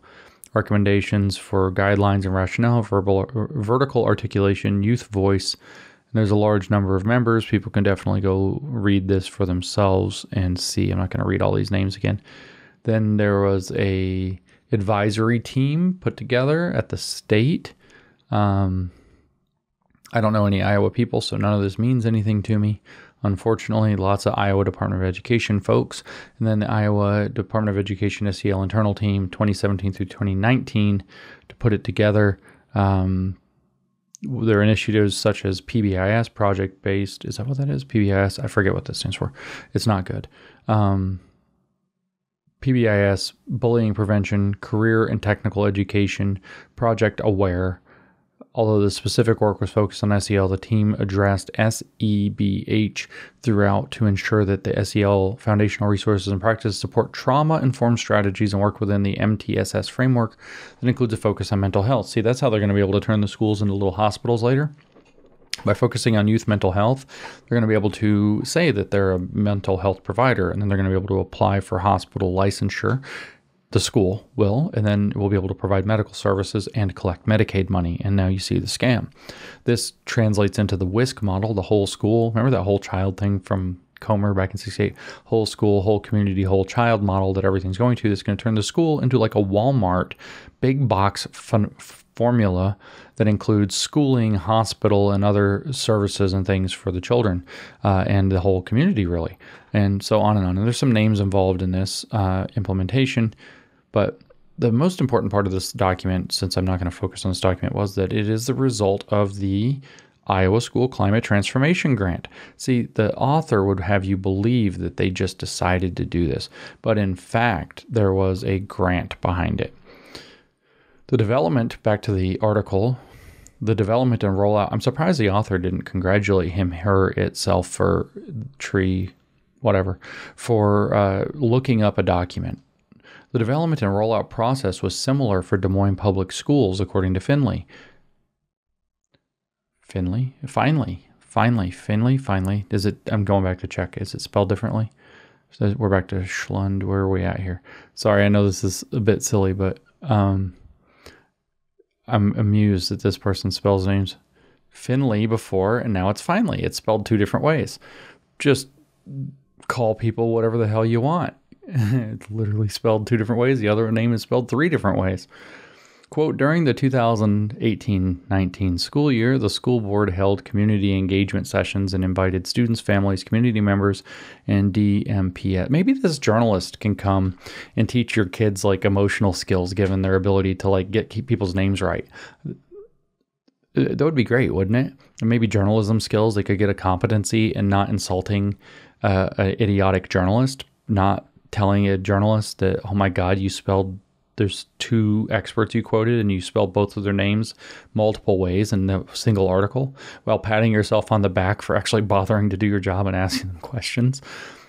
Anyway, this person could teach your teach your children emotional skills like narcissism, self-aggrandizement, um, not giving a shit about your actual work, you know, all kinds of professional stuff. Maybe this person went through socially emotional learning equipped schools in Iowa during the 2018, this is Finley or finally, now we don't know how to say this person's name. Maybe we'll call her Allie, because wasn't it Allison? Quote During the 2018 19 school year, the school board held community engagement sessions and invited students, family, community members, and uh, Des Moines public school staff members to address the following two questions What is the impact you want our school system to make on our students, and what do you want students to know and be able to do? Okay, pause before we continue. Sounds great. They had these community engagement sessions. Pause and ask yourself who went to those? Who went to those in 2018 and 2019? Back before we knew that there was all these weird manipulations, before in the blessed times before COVID 19 revealed to us how corrupt everything is, who went to those? FN activists. That's who went to those. Students, families, community members, activists. So the left organizes really well, the right stays home or goes to the soccer game with their kids or actually has a life. And that's more than likely who went to those. That's more than likely how this was encouraged. And so, what impact? Uh, what is the impact you want our school system to make on students? Imagine what such people would answer. What do you want students to know and be able to do? In 2019, based on the community feedback, the Des Moines Public Schools School Board uh, adopted math and literacy goals and made safety and SEL a priority and board management limitation. I don't know how that actually worked out in practice. Can't speak to Des Moines Public Schools. Starting in April 2020, Des Moines Public Schools began to systematically implement social emotional learning at all levels and departments. Quote, while SEL seems like a new, quote, buzzword or process, it has always been an integral part of education, Finley said. Remember what I told you before about the dialectical inversion? It is all, even though it's brand new and you've never heard of it ever before, like this year, it's always been an integral part of education, she said. Schools should be safe spaces for students to learn and grow and be prepared for life outside of school in the community. Doesn't look like that's what's happening.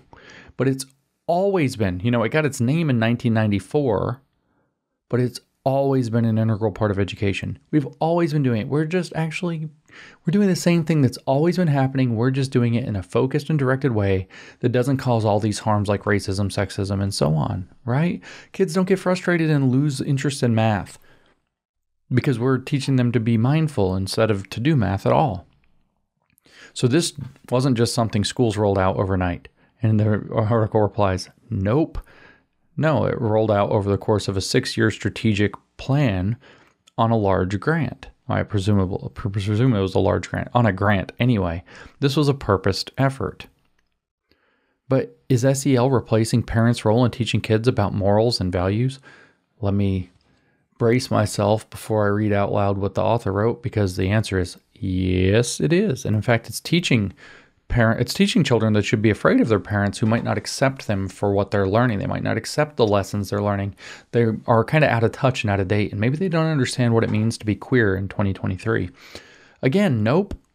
They tell us parental buy-in and collaboration is necessary for it to work. So you have to brainwash yourself and get on board. You have to do what the school's doing to your kids with your kids, or else it's just going to create an antagonistic situation. Now that's what Mao said too.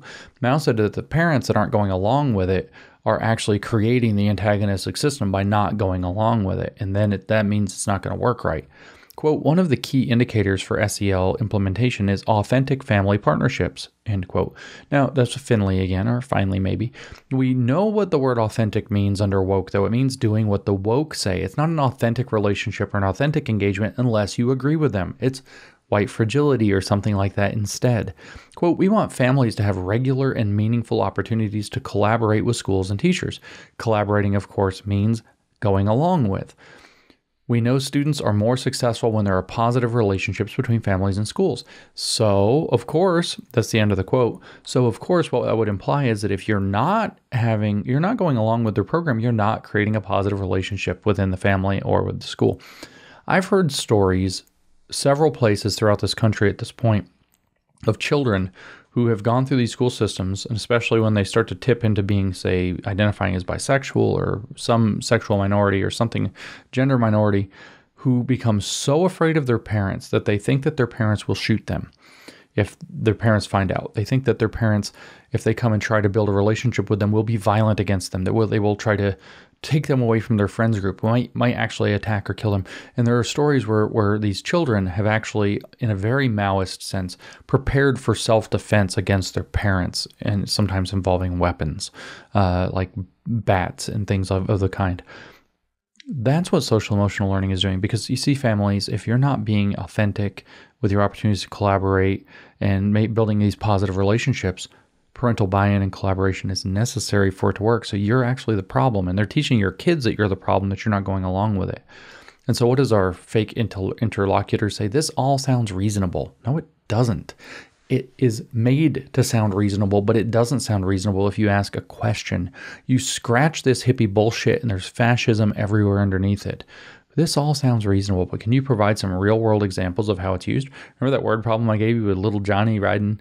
I know little Johnny's a dirty joke setup, but uh, that's not what we're talking about. Uh, little Johnny riding with his parents to the amusement park. That's a real world example. That's from an actual SEL training in the deeply blue state of Indiana.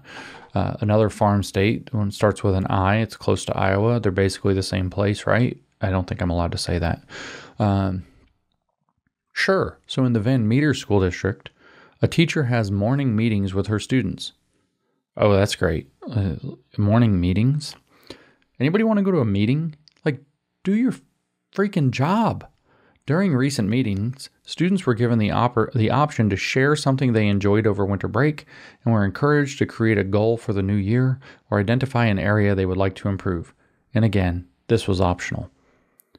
So, in one school district, one teacher has morning meetings with her students, and during recent meetings this year, written in February, they talked about winter break and what you might do to improve. So, obviously, what's happening in SEL is great. And then you think you think that I'm like being unfair here, right? So our fake questioner says, "That's it." And the author says, "Yup." Yeah, that's it. Talk to the kids. How was your winter break? Hey, let's have a meeting. Uh, you guys want to improve this year? You got any goals? Let's talk about a goal. Let's let's set a goal. I got another, that's it. Yep. That's what it says. That's what it says. That's literally what it says. Lies, damned lies, and SEL. I got another example for you.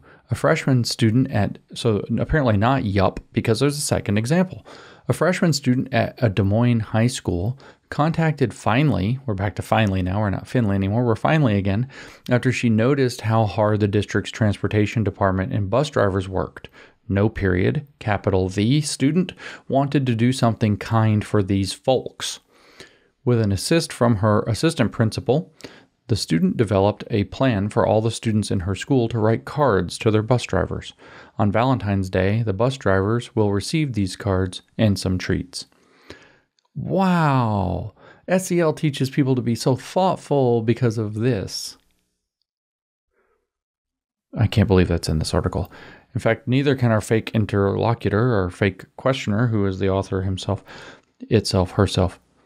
That's a nice story, but how does it fit in with SEL? Just sounds like, quote, Iowa nice. Oh, so you see, Iowa, they're appealing to your values, your sense of a nice culture, so that you'll keep being nice. And you're saying, see that thing that you guys do that you call Iowa nice? There's Nebraska nice, there's Utah nice, there's a lot of nices out there, by the way. Montana nice. I think everybody's nice.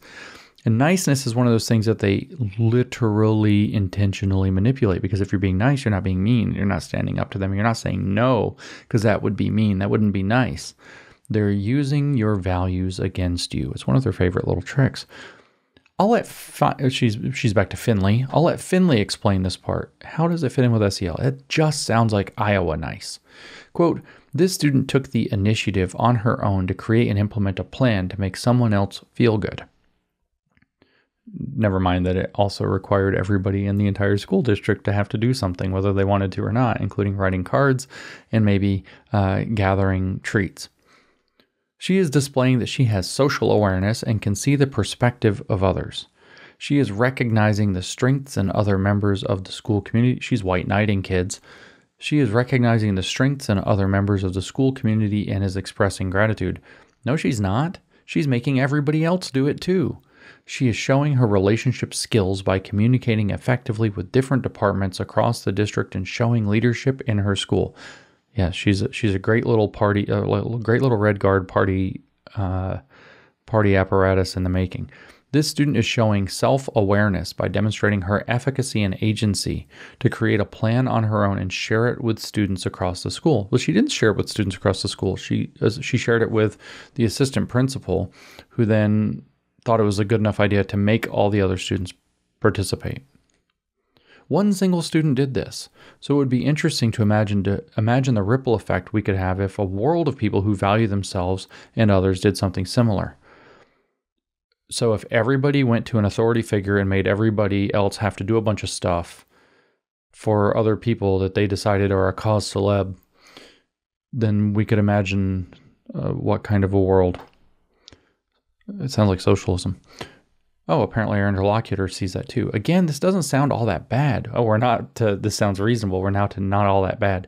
But I notice you haven't directly countered the senator's accusations around indoctrination, socialism, Marxism, CRT, and the LGBTQ agenda. well, SEL has been under attack nationally since 2021, give or take. You're welcome, America. I will take a little credit for that, if I may and is often it is often attached to the ongoing vilification of CRT. CRT doesn't need to be vilified; it is a villain. It do you not understand? It's Marxism using race, which is even nastier than economics. It doesn't. It's not being vilified. It is a villain. CRT does not need vilification. It is a villain. Vilification would be turning something into a villain that's not a villain. CRT is a villain. That's a important difference. So it's it's often attached to the ongoing vilification of CRT, which again is not something taught in K through 12 school. Except we know that's a lie. So we know this author now is not just a shameless propagandist, but also a direct liar. But we also already heard that. In public education, but the practice and terminology existed long before then, see above. See, it's not even new. It's always been happening. It's good. And it's attached to this thing that's nonsense and bad. Shameless propaganda. Lies, damned lies, and SEL. Here's a good NPR story that talks about this and another story from the Washington Post. You've got to be kidding me. That's so funny. Uh, the NPR article, I'm not going to click on it or read it, is from September 26, 2022. How social emotional learning became a front line in the battle against CRT. In Washington Post, 3rd of March, sorry, uh, 28th of March, 2022. Social emotional learning and critical race theory, something or another. I'm not clicking on it. Also, as embarrassing as it was, I did ask Finley and Schlund, did you ask them what it was like to have their names misspelled this many times in your friggin' article? Like, just kind of like you randomly chose letters to represent their names? Also, as embarrassing as it was, I did ask Finley and Schlund about the things Senator Salmon and some of her supporters have mentioned. They both vehemently deny these connections. Quote, we're now in Schlund land. Who's staying Schlund for the moment? There's a lot of politics out there and politicking out there, Schlund said. I will just emphasize the point I made earlier, which is social emotional learning is about helping students to develop their own perspectives and points of view, to listen to diverse perspectives of their peers, of others in their communities, and to be able to take all that information and make good decisions for themselves to achieve their goals to contribute to their communities. The other thing I'll say is that if you want children to be prepared for the world at large, for the future that they will be inheriting, they need to be able to learn how to communicate with people who are different than them, to be able to listen to diverse opinions, to be able to understand who they are in relationship to other people. And that's all part of social and emotional learning. Here's the thing, kids. Let me make this real clear to you. They always say this. They're, we need social emotional learning so that kids will learn how to communicate with people who are different than them. You know what? We haven't actually had any problems with that until all this microaggression, critical race theory, everything's an offense came into the picture. You're saying that, oh, you're just saying that from your position of privilege, but no, I'm not. I'm watching how people interacted in the past. And this is bullcrap. People were doing just fine learning how to communicate with one another across all kinds of differences religious, political, racial, sexual, um, gender, everything. There was no actual problem, nationalities, origins. There was no significant problem. This problem has been ginned up by things like CRT and queer theory and turned into something really horrendous. I mean, actually, comedians did a better job of breaking down some of the barriers in the 70s, 80s, 90s, and so on than any of this, which has actually inflamed the problem and made everything an offense. So if you want more of teaching your kids by tinkering around in their psychology, more of learning how to take an offense to everything so they can have the ability to quote communicate with people who are different than them on terms set by leftists, by all means, maybe support social emotional learning. Be able to listen to diverse opinions. Nobody was having a problem with that actually until the diverse opinion that people weren't listening to, which is critical theory, excuse me, critical theory or Marxism. People weren't listening to that one. We're like, that's communist bullshit. We're not going to do that. And then so they said, you're not listening to diverse opinions. And they tucked it into racial opinions. They made the true capital B black perspective, as we see with Larry Elder, uh, for example, or any number of other examples. Um, the true capital B black perspective has to be the critical race black perspective, and so on. The true gay voice isn't gays against groomers. They're not even really gay apparently, because they're not queer activists. So it's the queer theory voice. And this is substantiated not only in their activism, which we all see, and in the poisoned society that we all endure and live in and try to metabolize now, but it's also rife throughout the literature. The literature, the academic literature behind these fields is all written through with this. We could talk for hours about David Halperin and the book Saint Foucault that he wrote in the early 1990s, maybe 1995, if I remember correctly, um, where he says this about the queer versus gay. We could talk about the same thing with an Eve Sedgwick, Epistemology of the Closet from 1990 uh, where uh, Gayle Rubin in 1984 and Thinking Sex, which I read as a podcast series, you can hear them trying to negotiate a new radical politics of what it means to be queer, aside from what it means to merely happen to be gay.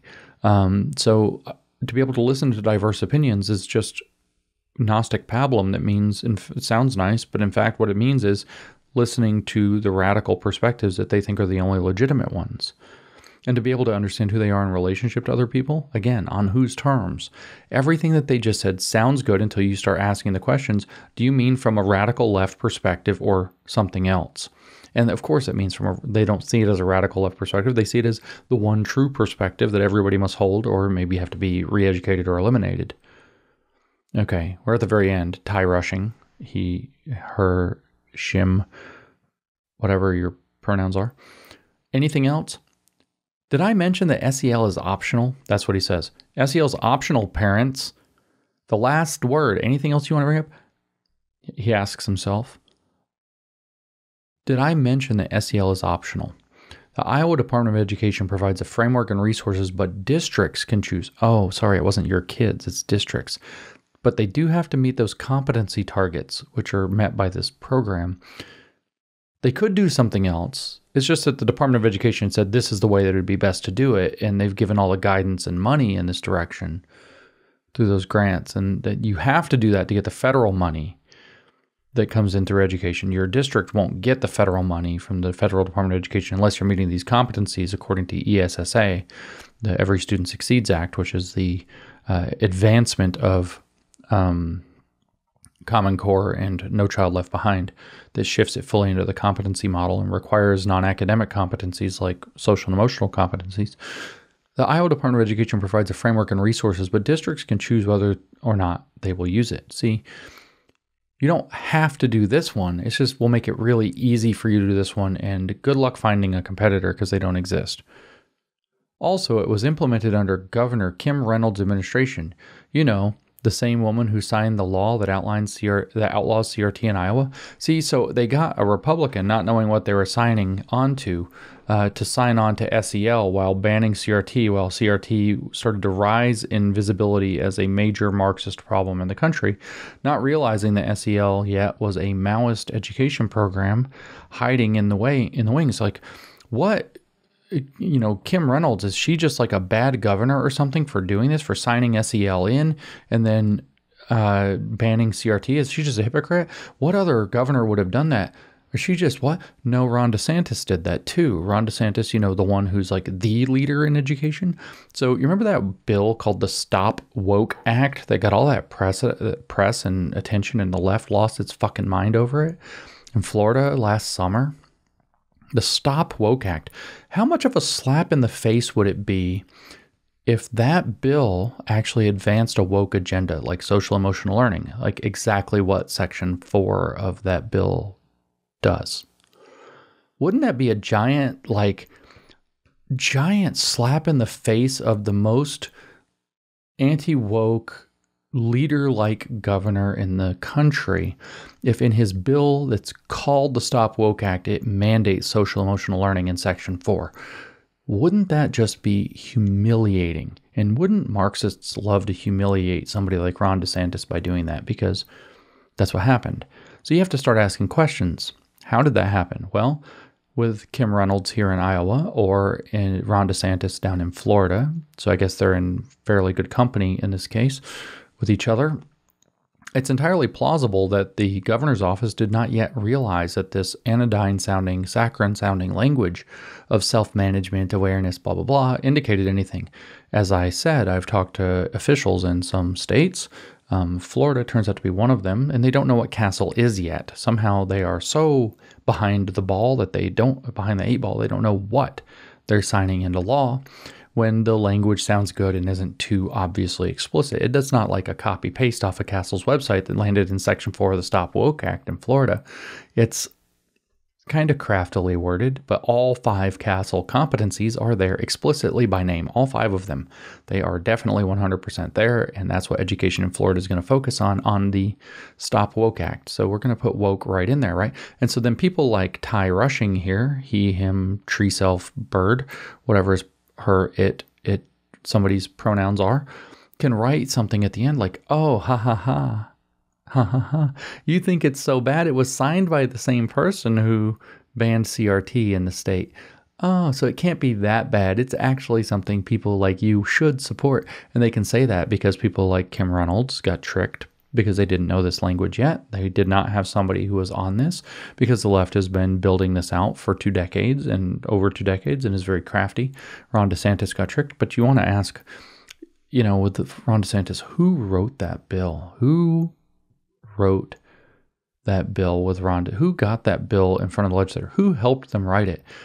Eh, what anti woke activists help write social emotional learning right into the law in Florida in the Stop Woke Act and the biggest slap in the face that I know of so far in any of these anti woke bills. I wonder who, who who was responsible for helping draft that legislation and making sure that it was up to scratch before any legislators pushed it through and the governor signed it. And the freest state in the nation, I'm told, Florida, where they you are very free, but they wrote into the Stop Woke Act that they're going to brainwash your kids using social emotional learning.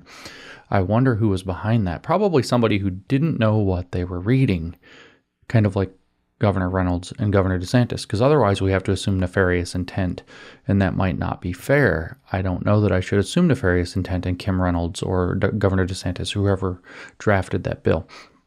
But these are the things that I wanted to bring up social emotional learning, lies, damned lies, and social emotional learning, or SEL. Um, when they present it to you in the media, they lie to you about it.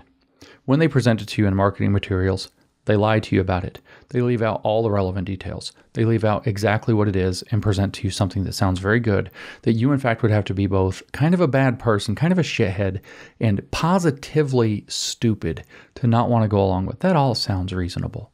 They present it to you like this in a mocking tone, in a mocking format of an article to make it look like only a hateful hick could possibly be against this. Not good salt of the earth people with common sense in the state of Iowa, not Moms for Liberty, who are actually spending an inordinate amount of time studying these things in depth, digging deeply into CASEL and its origins, CASEL and its funders, the organizations that support these initiatives outside of CASEL and the Fetzer Institute, digging deeply into these universally hard left, except some of the school choice movement programs and then obviously whatever or whoever wrote the Stop Woke Act for Ron DeSantis to sign, um, or those legislators in Florida that got suckered into it. Um, some of whom I've actually spoken to, and they were shocked to find out that it was in there, uh, and asked me the, exact question: Who who helped us write this bill? And I'm like, you were there. I wasn't. You didn't call me, uh, so I don't know. Um, so at any rate, uh, they will lie to you about it. Lies Damned Lies in SEL. It took me a very long time to go through this short piece of crap article, two hours to go through this short piece of crap article, just to document, in some sense, and articulate the depth and scope of the lies that they put out in their little mocking, uh, cute box that promotes social emotional learning in the state of Iowa.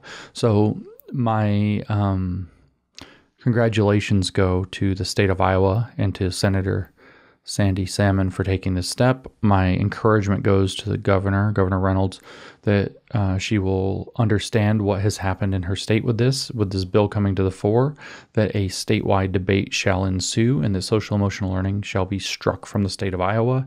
And Iowa will become a national leader on protecting children and enshrining parental rights. Uh, from Maoist brainwashing and manipulation in schools under a nice sounding brand name like social emotional learning. And I pray that this uh, debate will then go national and we will start to burn this scourge out of every state that will have the political will and capital to do it. Uh, and like I said, may Iowa be a brave leader in this. Um, if, if, you are in the state governance of Iowa, uh, I encourage you in that direction. If you are a resident of the state of Iowa or somebody connected to one or you care, I encourage you also in this direction, but also to speak up and speak out to them to make this clear for them. Uh, Moms for Liberty in Iowa, I give you the biggest pat on the back. Moms for Liberty National should be proud of you. Um, our nation should be proud of you. I'm proud of you for bringing this up, for pushing this issue, uh, and keep up the good work.